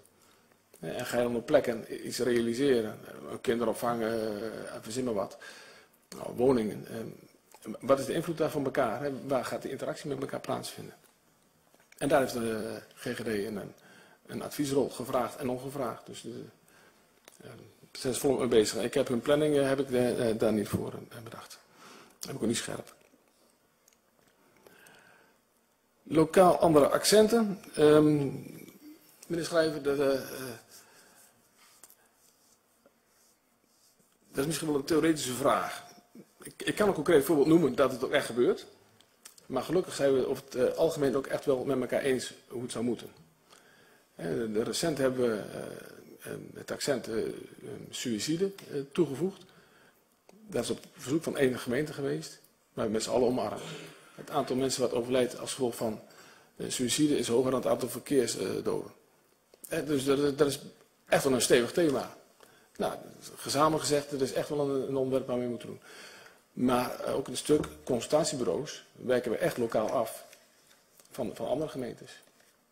Dus uh, ja, er is ruimte voor lokaal accent. Uh, maken we dan ook aparte afspraken over. Betalen we ook apart. Uh, maar we proberen de, de organisatie GGD ook wel zo, zo efficiënt mogelijk te organiseren. Zodat we, als je meer kosten hebben, dan kan het ook. Maar dat je niet, dat, wij als Dalsen meebetalen voor een franje in een andere gemeente. Want dat is natuurlijk de andere kant. Want de keuzevrijheid voor ons betekent ook voor een ander. Met een, een bijbehorend prijskaartje. Uh, in hoeverre hebben we de doelen gehaald? Uh, ja, nou, ik, ik, zou bijna zeggen, uh, het oordeel is aan u. De, de, de, evaluatie ligt op papier. vindt u de evaluatie niet voldoende, dan kan dat. Maar anders, die staat op papier. Want anders dan ga ik uw werk ook nog een keer doen en dat wordt wel een, een, een beetje monistisch. Tot zover, voorzitter. Dank u wel, meneer Uitslag. Naar aanleiding van de beantwoording nog aanvullende of verduidelijkende vragen nodig. Mevrouw Lasje, ChristenUnie. Ja, dank u voorzitter. Want ik ik snap het toch nog niet helemaal, want uh, straks komt dat uh, uitvoeringsprogramma komt in februari. Dat hebben we nog niet gehad. Dat is ook een vraag van uh, D66, dat we het nog niet gehad hadden. Van PvdA, sorry. Um, maar die gaat informeren naar het RIS. En dat is in februari. Maar dat is niet de nieuwe raad die daar dan iets over kan zeggen. En um, dus blijft een beetje die vraag van wanneer gaat de nieuwe raad dan iets kunnen vinden daarover. En in combinatie daarmee toch nog mijn andere vraag. Ehm, wanneer spreken we over al die deelonderwerpen? Is dat nou in de rapportage sociaal domein? Is dat ook in het uitvoeringsprogramma lokaal gezondheidsbeleid? Net zoals die vraag over dat beschermd wonen of over maatschappelijke opvang. Dat komt nu even zijdelings aan de orde. Dat, maar wat is de geëigende plek daarvoor? Ik hoop dat het zo een beetje duidelijk is, mijn vraag. Ja. Um, ik schat in dat u bij al die onderwerpen, uh, dossiers wat u net zojuist noemde, uh, hier wel over zou kunnen praten. dat is de grap ook een beetje. Um, het raakt ook het wonen. Hè, dus als we over Vechtos praten, dan zou het nog een keer kunnen. dus ik, ik, kan nog een aantal toevoegen. Um, zoals het hier in de nota staat, wordt voor de nieuwe bestuursperiode door het algemeen bestuur een bestuursagenda opgesteld. De nieuwe raad. Um, kan de wethouder aanvulling mee geven uh, enzovoort. En dan kunt u daar dus ook over spreken. En dus dat is aan de nieuwe raad. En de uitvoeringsagenda uh, die is volgens mij iets vertraagd vanwege ziektes enzovoort. Um, en dan is het feitelijk ook zo dat de nieuwe raad daarover zal spreken, want die wordt aan de nieuwe raad aangeboden dan. Maar dat is meer chronologisch gezien.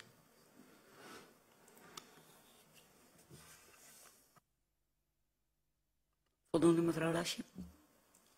Dank u wel. Meneer Uitslag, mevrouw Lasje. Mag ik uw opinie? Sorry, ik had het uh, niet door. Dank u wel, voorzitter. Um, we hebben een evaluatie voor ons liggen. Dank daarvoor. Het um, geeft een goed beeld van de visie van de GGD en hoe het wordt uitgewerkt. En dat is op overzichtelijke wijze opgezet. En het... Um, het is ook goed dat hiermee voldaan wordt aan wat afgesproken is in de nota verbonden partijen. Want het was toen zoeken van hoe gaan we nou met elkaar een beetje grip houden op die verbonden partijen. En het is mooi dat dat nu gebeurt. Um, dus dank daarvoor. En um, wij zouden graag zien dat de adviezen die de oude en de nieuwe raad geeft, dat die ook worden meegenomen. Dus en een informatieavond voor de nieuwe raad en ook inderdaad de andere dingen die erin staan. Graag zijn we voorstander van dat we dat doen. Dan gaan we naar de ontwikkelingenbrief. Ook hiervoor onze dank. Er wordt veel in benoemd. Er blijkt ook wel heel veel te zijn waar de GGD zich bezig mee houdt. Ik vind het echt een enorm takenpakket. En het lijkt ook eigenlijk alleen nog maar meer te worden elke keer. Dus ik vind het echt een petje af voor alles wat ze doen. Uh, we hebben er vier opmerkingen bij.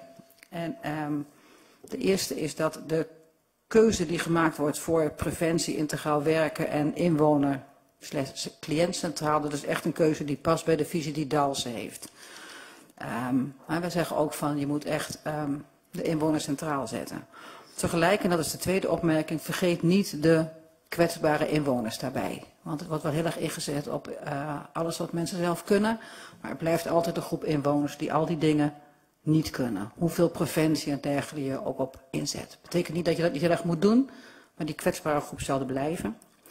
Derde punt is dat de voordelen van regionaal werken worden benoemd. En dat is prima, het is heel goed om regionaal samen te werken, maar laat het wel goed lokaal landen. Een goede samenwerking met de lokale organisaties is erg belangrijk, want die heb je nodig.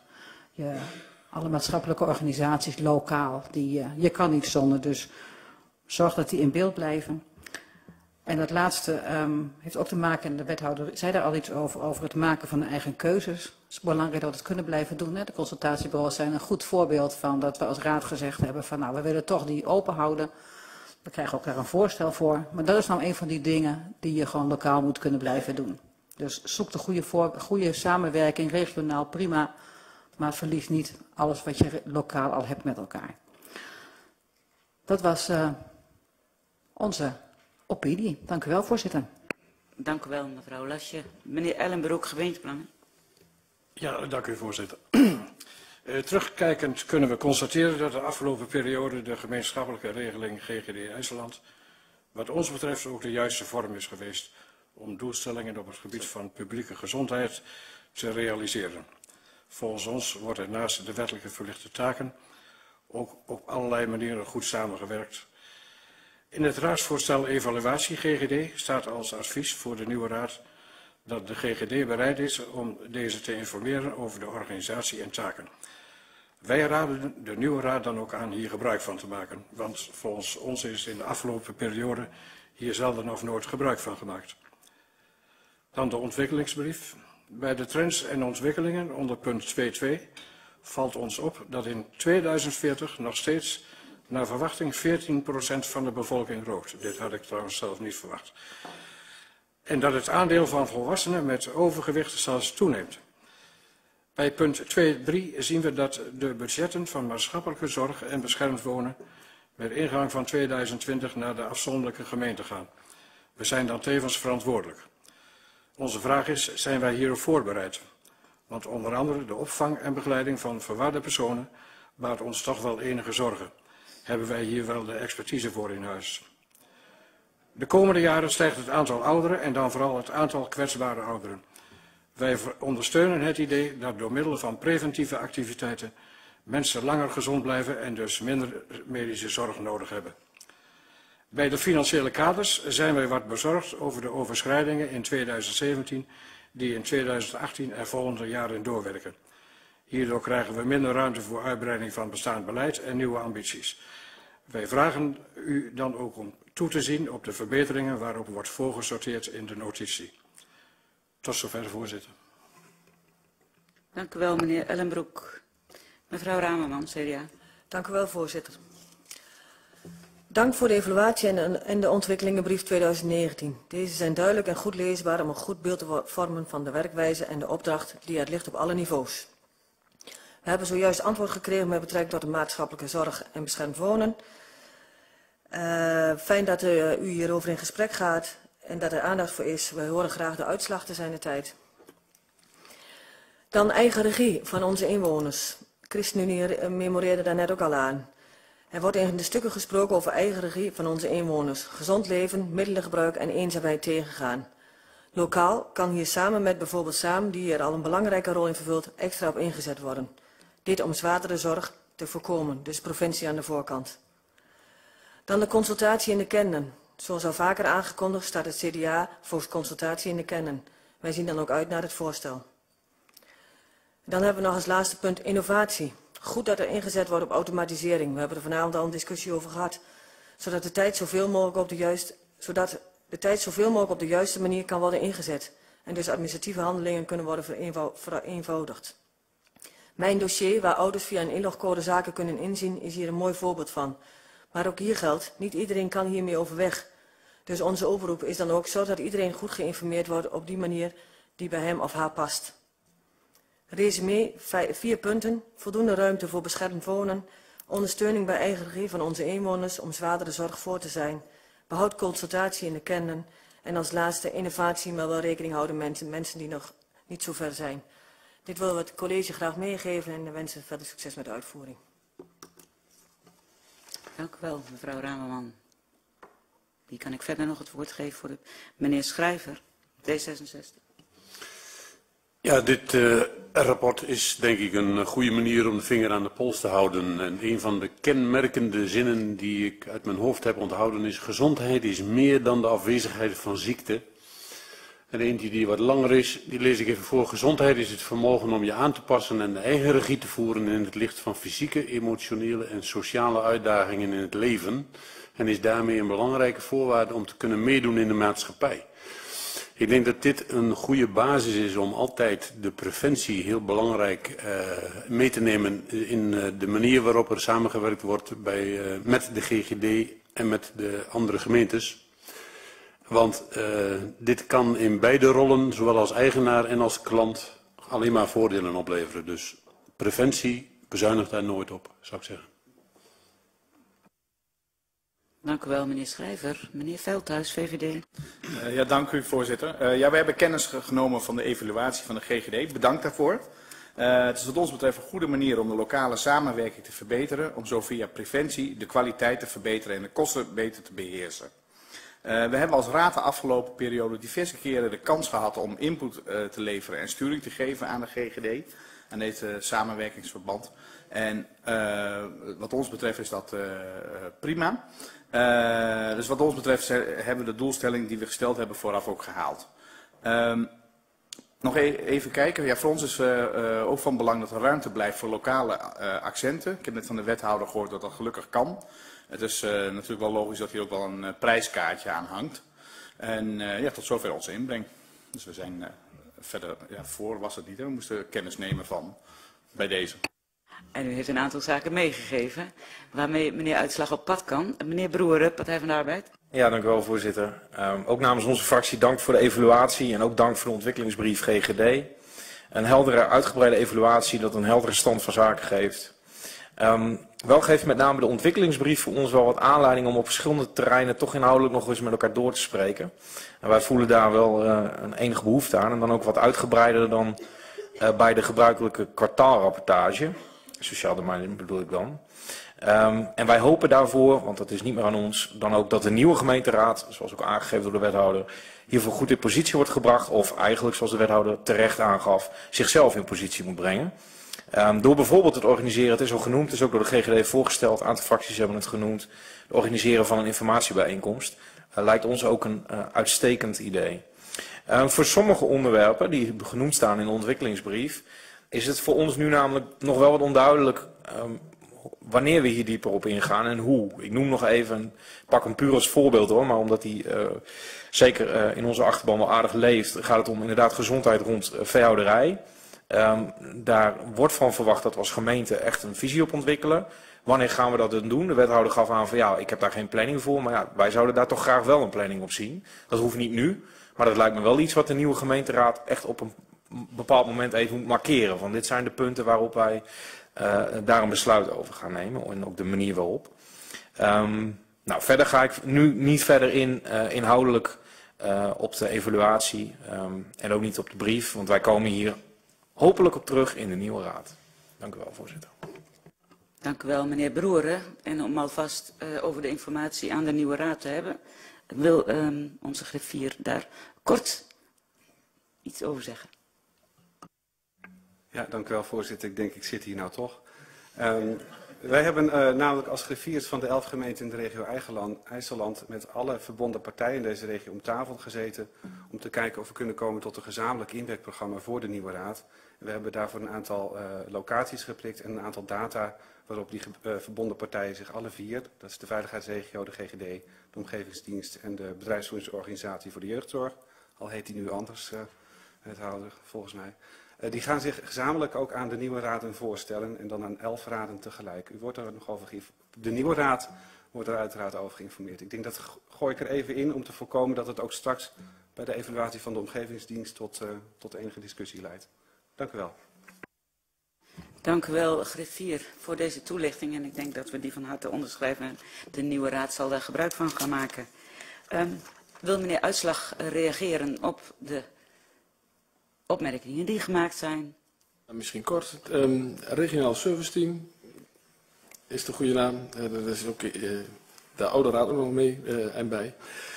Um, nou ik, ik heb de, de aanvullingen gelezen. Ik heb de complimenten gehoord over het, over het stuk. Uh, en ook de, toch tevredenheid geproefd van de raad over hoe um, ze geïnformeerd zijn en, en, en betrokken voelen bij de GGD. Uh, gaan we erover praten? Zal het een hot thema blijven, meneer Broer? Ik, ik weet het wel zeker. En ik zeg er vanuit mijn inhoudelijke portefeuille bij, gelukkig maar. Het is echt wel een, een belangrijk dingetje. Veehouderij, wanneer? Ik, ik kan me voorstellen dat het ook met de omgevingsvisie en, en dus ook veel meer op elkaar ingrijpt. Dus de, de LTA moeten opnieuw gaan opstellen met de commissievoorzitters enzovoort. Dus ik laat het ook aan u als raad, maar uh, ook aan organisatie wanneer er een en ander in elkaar gaat grijpen. Um, ik heb nog wel één vraag genoteerd van de gemeentebelangen of um, de gelden die naar de gemeente uh, overgaan in 2020, hè, over de, of wij daar voldoende voorbereid waren. Het feit dat wij als um, gemeente het geld krijgen en er verantwoordelijk voor zijn, wil niet zeggen dat we alles in eigen beheer gaan doen. Ik sluit niet uit dat we het ook in hetzelfde regionale verband nog steeds goed gaan organiseren, net zoals nu goed georganiseerd is. Want daarna kan wel vinden dat wij het geld op onze rekening krijgen in plaats van centraal. Maar daarna gaat het gelukkig niet over hoe we het organiseren. En dat doen we al goed genoeg. Dus um, ik durf nu wel te zeggen dat we daarop voorbereid zijn, maar we gaan natuurlijk nog even verder over, over doordenken. En, en uw uh, punten, de, de ChristenUnie noemen ze uh, mooi samen met vier punten. Um, voor mij zijn ze ook de anderen echt onderschreven allemaal. En die neem ik natuurlijk van harte mee. Dank u wel, voorzitter. Dank u wel, meneer Uitslag, ook voor de samenvatting. Hoef ik die niet meer te doen wat dat betreft. De complimenten wil ik dan nogmaals benadrukken. Um, En u heeft een toezegging gedaan om nader informatie nog op het raadsinformatiesysteem te zullen zetten. Um, en daarmee concludeer ik dat we dit agendapunt ook voldoende hebben behandeld. En is agendapunt 6 uh, wil ik voorstellen naar agendapunt 7, de uh, regionale uitvoeringsdienst. Meneer Borkent, van harte welkom als ambtelijke ondersteuning aangeschoven. En uh, ook het doel van deze informatie is antwoord te geven op de vraag of de verbonden partij nog steeds de geëigende vorm is om de doelstellingen van onze gemeente te realiseren. Behandeling, wederom twee ronden. Eerst hoor ik graag uw vragen en daarna hoor ik graag uw opinie.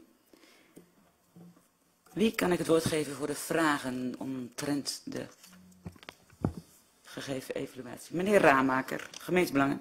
Ja, dank u wel. Uh, ik zie de, bij de oude RUT uh, wat minder kosten staan. En in de omgevingsdienst uh, die nu van kracht is per 1 januari 2018 een bedrag van uh, 518.000 euro, inclusief die 4,2.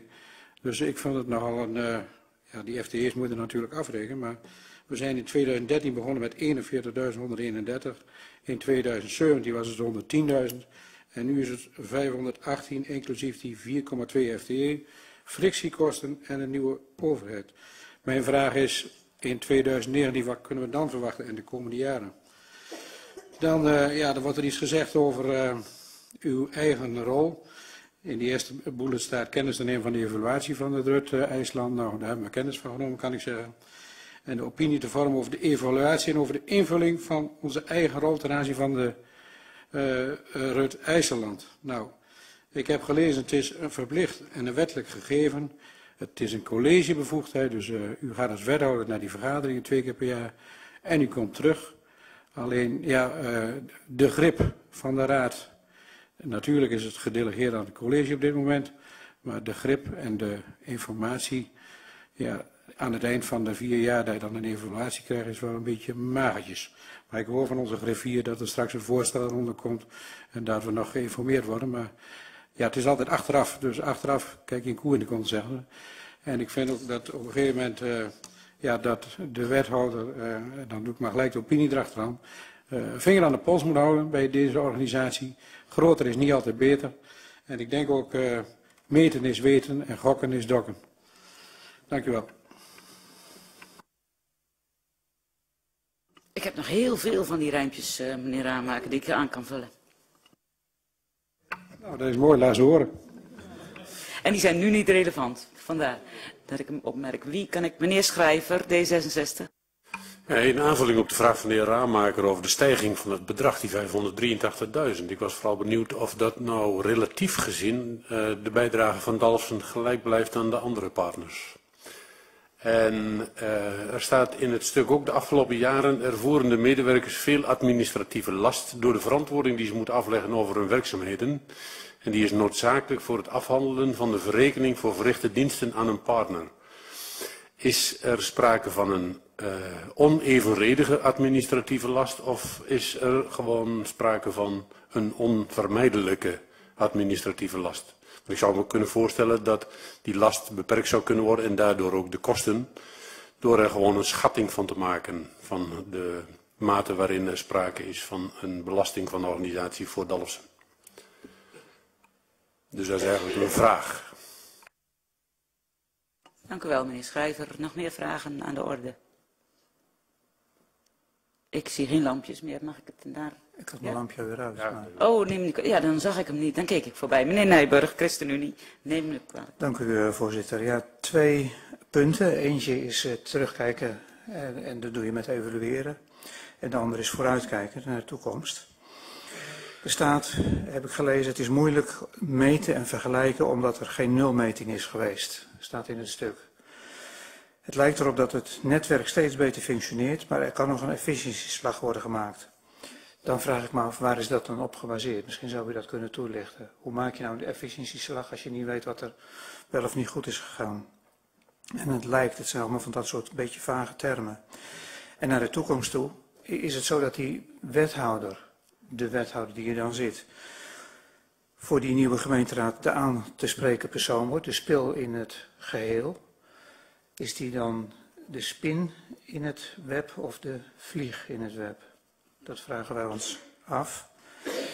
Ja, en in de kern gaat het natuurlijk om de vraag hoe die omgevingsdienst omgaat met die nieuwe omgevingswet. En hoe wordt dat geborgd? Dank u wel, meneer Nijburg. Meneer Kouwen, CDA. Ja, dank u wel. Ja, ik sluit me aan bij de voorgaande vragen en misschien daarop uh, uh, nog een aanvullende vraag van, uh, ja, we zijn als omgevingsdienst nog maar net onderweg, maar zijn er al voorzichtig eerste ervaringen te delen of is er al wat aan opstart gebeurd wat positief of negatief is? Daar ben ik wel benieuwd naar. Dank u wel, meneer Kouwen. Meneer Schuurman. Voorzitter, mag ik nog, toch nog even een vraag stellen? Sorry, meneer Broer, neem niet kwalijk. Aan u het woord. Ja, dank u wel. Um, ik had nog één vraag over de, uh, het uh, specifiek beleid voor milieutaken. Um, daar wordt hier over gesproken dat we daar in het verleden niet heel specifiek beleid op hebben gehad. Uh, maar daar wordt later ook gememoreerd aan. we hebben in 2017 een integraal VTH-beleidsplan VTH vastgesteld met elkaar als raad. En um, die voldoet dus aan, aan, aan, zeg maar even wat we moeten hebben. Maar er wordt een regionale werkgroep opgericht om dat verder uit te werken.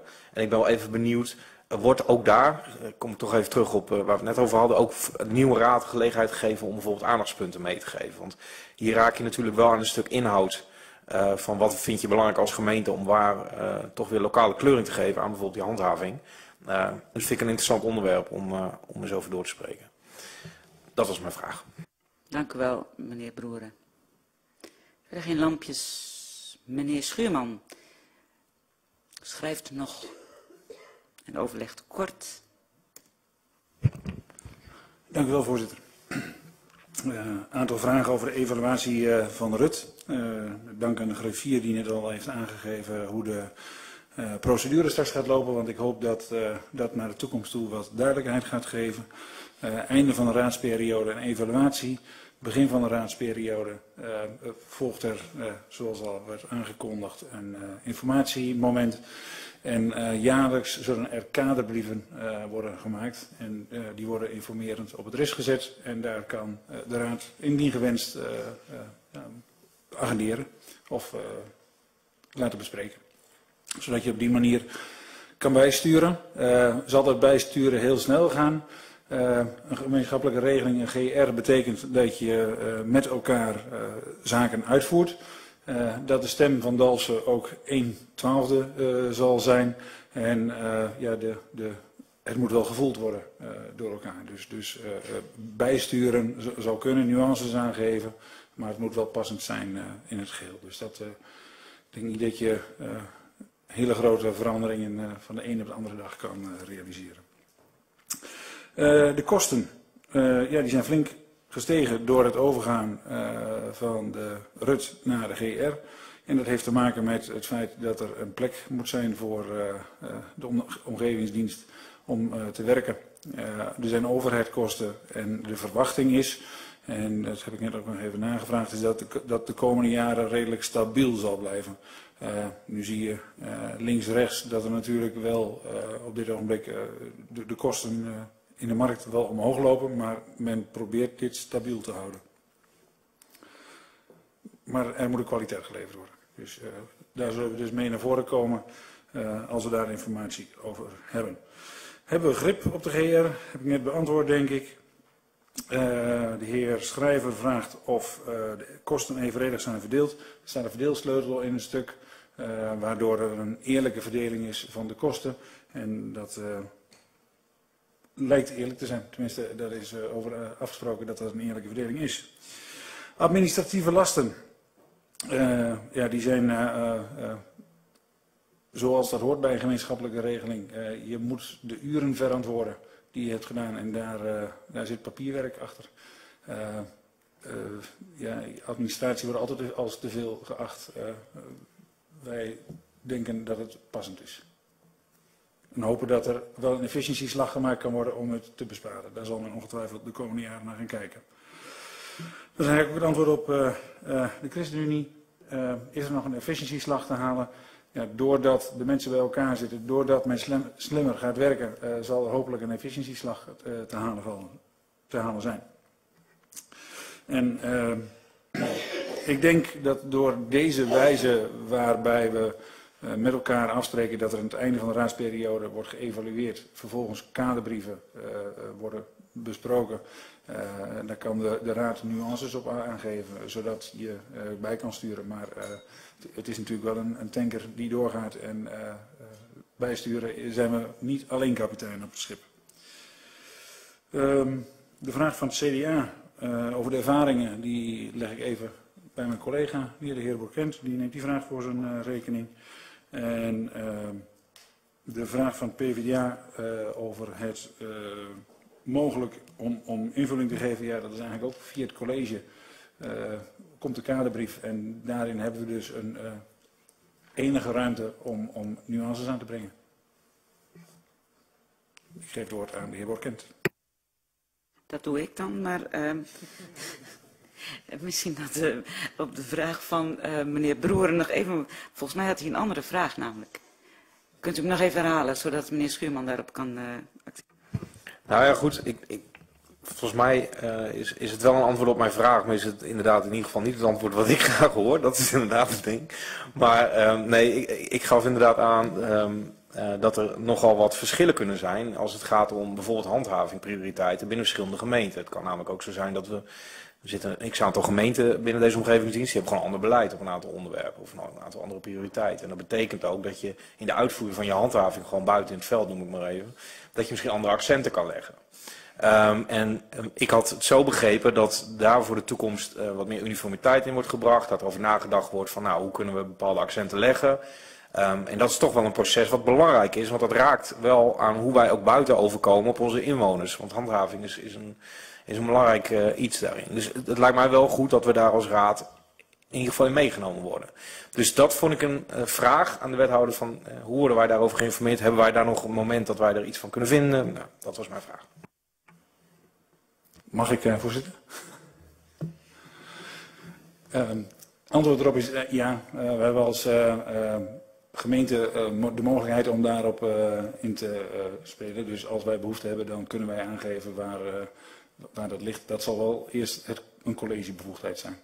Wordt de kaderbrief op het raadsinformatiesysteem geplaatst waarop dan de raad kan reageren? Correct. Zo zal het proces dan zijn. Ja. Ja. Dank u wel voor die beantwoording. En um, zijn er nog naar aanleiding hiervan opmerkingen te doen? Meneer Borkent had nog een technische vraag. Neem me kwalijk, ik sluit de microfoon al bijna om. Neem me niet kwalijk. Wilt u het woord, alstublieft? Nou, de vraag werd gesteld hoe het nu met de omgevingsdienst gaat. Nou, we zijn net uh, ruim twee maanden onderweg. De transitie is goed gegaan de afgelopen uh, twee jaar. Heeft wel heel wat uh, voeten in de aarde gehad. Personeel moet over van de gemeente naar de omgevingsdienst. Met alle regelingen die erbij komen. Um, twee weken geleden hebben we een overleg gehad met alle andere, andere deelnemers. Dus de andere gemeenten en de omgevingsdienst erbij rondje langs de velden gemaakt van hoe gaat dat nu? De algehele tendens is positief. Er zijn natuurlijk altijd weer opstartproblemen. ICT, nou, is vanavond ook al voorbij gekomen. Dat werkt niet altijd meteen. Maar inmiddels gaat het uh, vrij goed. Uh, toezicht vindt gewoon plaats buiten. Handhaving vindt plaats. Vergunningen worden verleend. Meldingen worden afgedaan. Adviezen worden verstrekt aan burgers en bedrijven. Dus door de oogharen heen gaat het gaat prima. Dank u wel voor deze toelichting, meneer Borkent. Door de oogharen heen vind ik wel een mooie uitdrukking. Mag ik uw opinie? Wie kan ik het woord geven? Want de vragen zijn beantwoord. Wie mag ik het woord geven? Meneer Kouwen, CDA. Ja, dank uh, voorzitter. Nou, goed om te horen van uh, de andere kant van de tafel dat, uh, dat, dat de eerste signalen goed zijn. Want dat is ook belangrijk inderdaad dat het doorloopt. En, want het netwerk RUD is niet meer sinds 1 januari van dit jaar. En uh, we zijn al eerder uh, akkoord gegaan met de oprichting van de, van de omgevingsdienst en daarmee dus het afscheid van de RUD. Dus uh, de evaluatie hier is echt een evaluatie van iets wat eindig uh, is. Um, zoals in de evaluatie ook beschreven staat, paste de inrichting van de RUD eigenlijk wel bij de wijze waarop we in Dalsen in de omgeving graag werken. Hè, met lokale verankering en ehm, lokale kennis. Gevoel, maar gevoel bij materie is ook belangrijk. En um, uh, dit moet heel goed samen kunnen. In het bedrijfsplan van de, van de nieuwe omgevingsdienst is dit ook beschreven hè, als kracht om, uh, om te proberen te behouden. Dus hou, dat ook als, ook vast. Um, ja, de CDA-fractie hoopt dan ook um, dat, dat de omgevingsdienst hier oog voor heeft. En bij uh, de oprichting van de omgevingsdienst uh, hebben we ook drie aandachtspunten meegegeven, waarvan het lokale maatwerk het eerste is. Broer gaf al aan ten aanzien van de handhaving. Ik denk dat het heel belangrijk is. Tweede is de aanstaande omgevingswet. op basis van de streefbeelden kan de wethouder hier natuurlijk al wat richting aan geven in het bestuur. Maar persoonlijk verwacht ik wel dat de nieuwe raad hier ook nadrukkelijk op terug zou komen. Ook met het takenpakket van de omgevingsdienst. Ook hier gaat het om het ondersteunen van, van de gemeentelijke doelen maar met de voordelen van de gebundelde slagkracht die je die, uh, regionaal kan uh, verkrijgen. Dit alles uh, komt voor ons samen in de sturing op de GR vanuit, ehm, vanuit Dalsen. Dat is het derde aandachtspunt. We vinden het zuiver om de nieuwe raad straks doelstellingen te laten bepalen om daar de wethouder mee op pad te sturen. dan heb je als raad iets om op terug te grijpen, maar ook als wethouder met dubbele pet. Deel-eigenaar klant of spin, vlieg, noem maar op. Uh, deze doelstellingen gaan wat ons betreft verder dan uh, enkel uh, of, puur inhoudelijk, maar ook over de randvoorwaarden zoals de financiële huishouding, de trends daarin, zoals ook al door de heer Raamaker geschetst, en de, de klantservice, ook van belangrijk punt. Um, voorzitter, ik rond af. als CDA-fractie kijken we met tevredenheid terug op de ehm, voormalige RUD. En we hopen van harte dat het goed behouden blijft in de nieuwe omgevingsdienst. En wensen de betrokken uh, hierbij veel succes. Dus, uh, en dank voor de toelichting en de evaluatie. Dank u wel, meneer Kouwen. Ik, meneer Raamaker brandde net een lampje. U had uw opinie al gegeven. Ja, dank u wel. Wie kan ik verder? Meneer Veldhuis, VVD. Uh, ja, dank u, voorzitter. Ja, we hebben kennis genomen van de evaluatie. Uh, ja, het meeste is denk ik ook al wel gezegd voor ons. Uh, ook voor, uh, voor ons geldt dat we voorstaan, we zijn ook bij dit punt hoe we nu werken met het RUD en straks dan met een nieuwe instantie. we hebben vertrouwen in de aanpak die de wethouder heeft aangegeven met die kaderbrieven. daardoor kunnen we als raad denk ik straks beter meesturen. Ehm, even kijken. Dan heb ik nog één opmerking staan. U geeft aan dat de RUD een tanker is en dat er meerdere kapiteins zijn op het schip. En daar zit uh, wel meteen een risico. Een kenmerk namelijk is van een tanker dat als je een ruk aan het roer geeft, dat ongeveer drie zeemijlen duurt uh, verder is voordat hij uiteindelijk de juiste koers gaat, koers gaat varen. Laten we dan uh, samen met u ervoor zorgen dat we op het juiste moment het roer in handen he hebben en dat u dan een, een goede ruk aan het roer geeft. Tot zover onze inbreng. En dan is het ook nog afhankelijk hoe hard die gaat. Om bij te kunnen sturen. Wie kan ik verder? Meneer Broer, Partij van de Arbeid. Dank u wel, voorzitter. Nou, dit is de avond van de vergelijking, geloof ik. En uh, ik, ik, ga daar denk ik maar niet in mee. Um, even kijken. Uh, dank voor de evaluatie.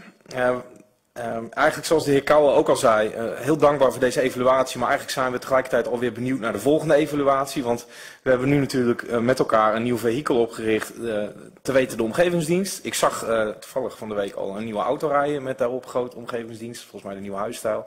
Dus herkenbaar ook in het gebied. Het is maar al opgevallen in ieder geval. Um, Um, nou ja, wij hopen daarbij, hè, dus bij uh, die nieuwe omgevingsdienst, maar dat hebben we aangegeven, dan ook dat lokaal maatwerk mogelijk blijft. Uh, maar wij voelen ons daarin uh, bevestigd door de werkwijze die de wethouder ons schetst.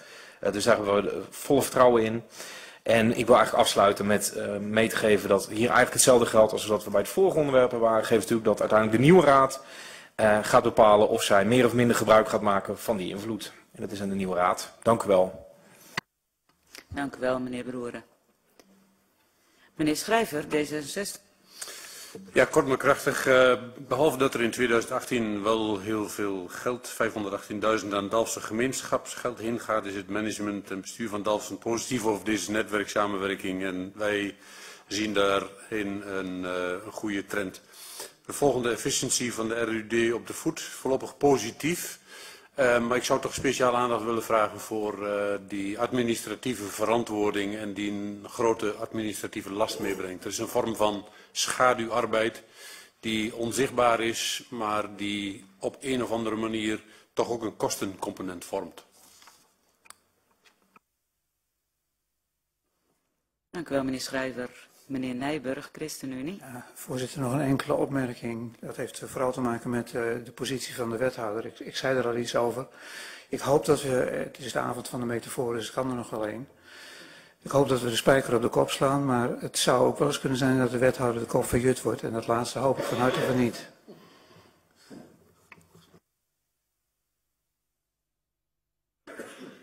Dank u wel, meneer Nijburg. Verder heeft iedereen zijn of haar opinie kunnen geven. De kop van Jut, nee. Um, meneer Schuurman, dat is niet de kop van Jut. Wilt u nog reageren op de ingebrachte opinie? Nee, u heeft het gehoord. U zult het meenemen daar waar van toepassing is. Er is aandacht gevraagd voor de lokale maat. Um, en de nieuwe omgevingsdienst rijdt al, heb ik begrepen, nieuwe auto's rond. Dus zijn zichtbaar. Uh, handhaving is een belangrijke. De streefbeelding richting omgevingswet die ons straks weer uh, in de nieuwe raad voorbij zullen komen. En waar we wat van mogen vinden. Uh, komt ook voorbij. we zijn benieuwd. En er is vertrouwen in de aanpak zoals u die heeft geschetst. Richting de nieuwe raad zal eerst in de kennismaking daar ook over afspraken gemaakt worden. Ik dank u wel voor uw inbreng. En daarmee is agenda punt 7, evaluatie regionale uitvoeringsdienst achter de rug. Ik dank meneer Borkent voor zijn inbreng en zijn uh, aanwezigheid hier. Ik wil over naar agenda punt 8, vaststelling van de besluitenlijsten. En ik stel voor om de besluitenlijsten van 5 februari en 12 februari 2018. Ik stel ze aan de orde. Wil iemand daar iets op over opmerken naar aanleiding van? Meneer Broeren, Partij nou, van de Arbeid. Het is puur een vormvraag hoor, maar ik, ik heb iets gelezen, dus misschien stel ik een hele domme vraag. Maar waarom is de ene in een andere stijl dan de andere? Want de ene is wat uitgebreider dan de andere. Ik geef het woord aan de griffier, want dat is de opsteller in deze. Um, dank u wel, dat is een gevoelig punt uh, ook meteen. Um, want net van die ene vergadering um, is zowel uh, geen, geluid, geen geluidsopname bij de video beschikbaar als de backup geluid. Dus vandaar wat uitgebreider dan normaal. Ik hoop dat dat een uitzondering blijft. Dank u wel. En dat onderschrijf ik dan ook van harte. Dat dat een uitzondering zal mogen blijken. Verder nog, naar aanleiding van, dan stel ik de besluitenlijsten van 5 februari en 12 februari met uw goedkeuring vast. En is agenda punt 8 geweest. Punt 9, de sluiting van de laatste raadscommissie in deze setting. Ik wil u danken voor het vertrouwen uh, richting mij als voorzitter van deze raadscommissie. Um, we zien elkaar, hoop ik, op 8 maart. Onze griffier heeft zijn best gedaan. Uh, bij het verkiezingsdebat in Leemleveld. En um, nou, op de verkiezingsavond op 21 maart hier in het gemeentehuis. We wensen u veel succes bij de campagne. Die gaat, of die loopt al, maar die loopt. Ik wil u danken voor uw inbreng en um, wens u nog een fijne avond. En tot ziens.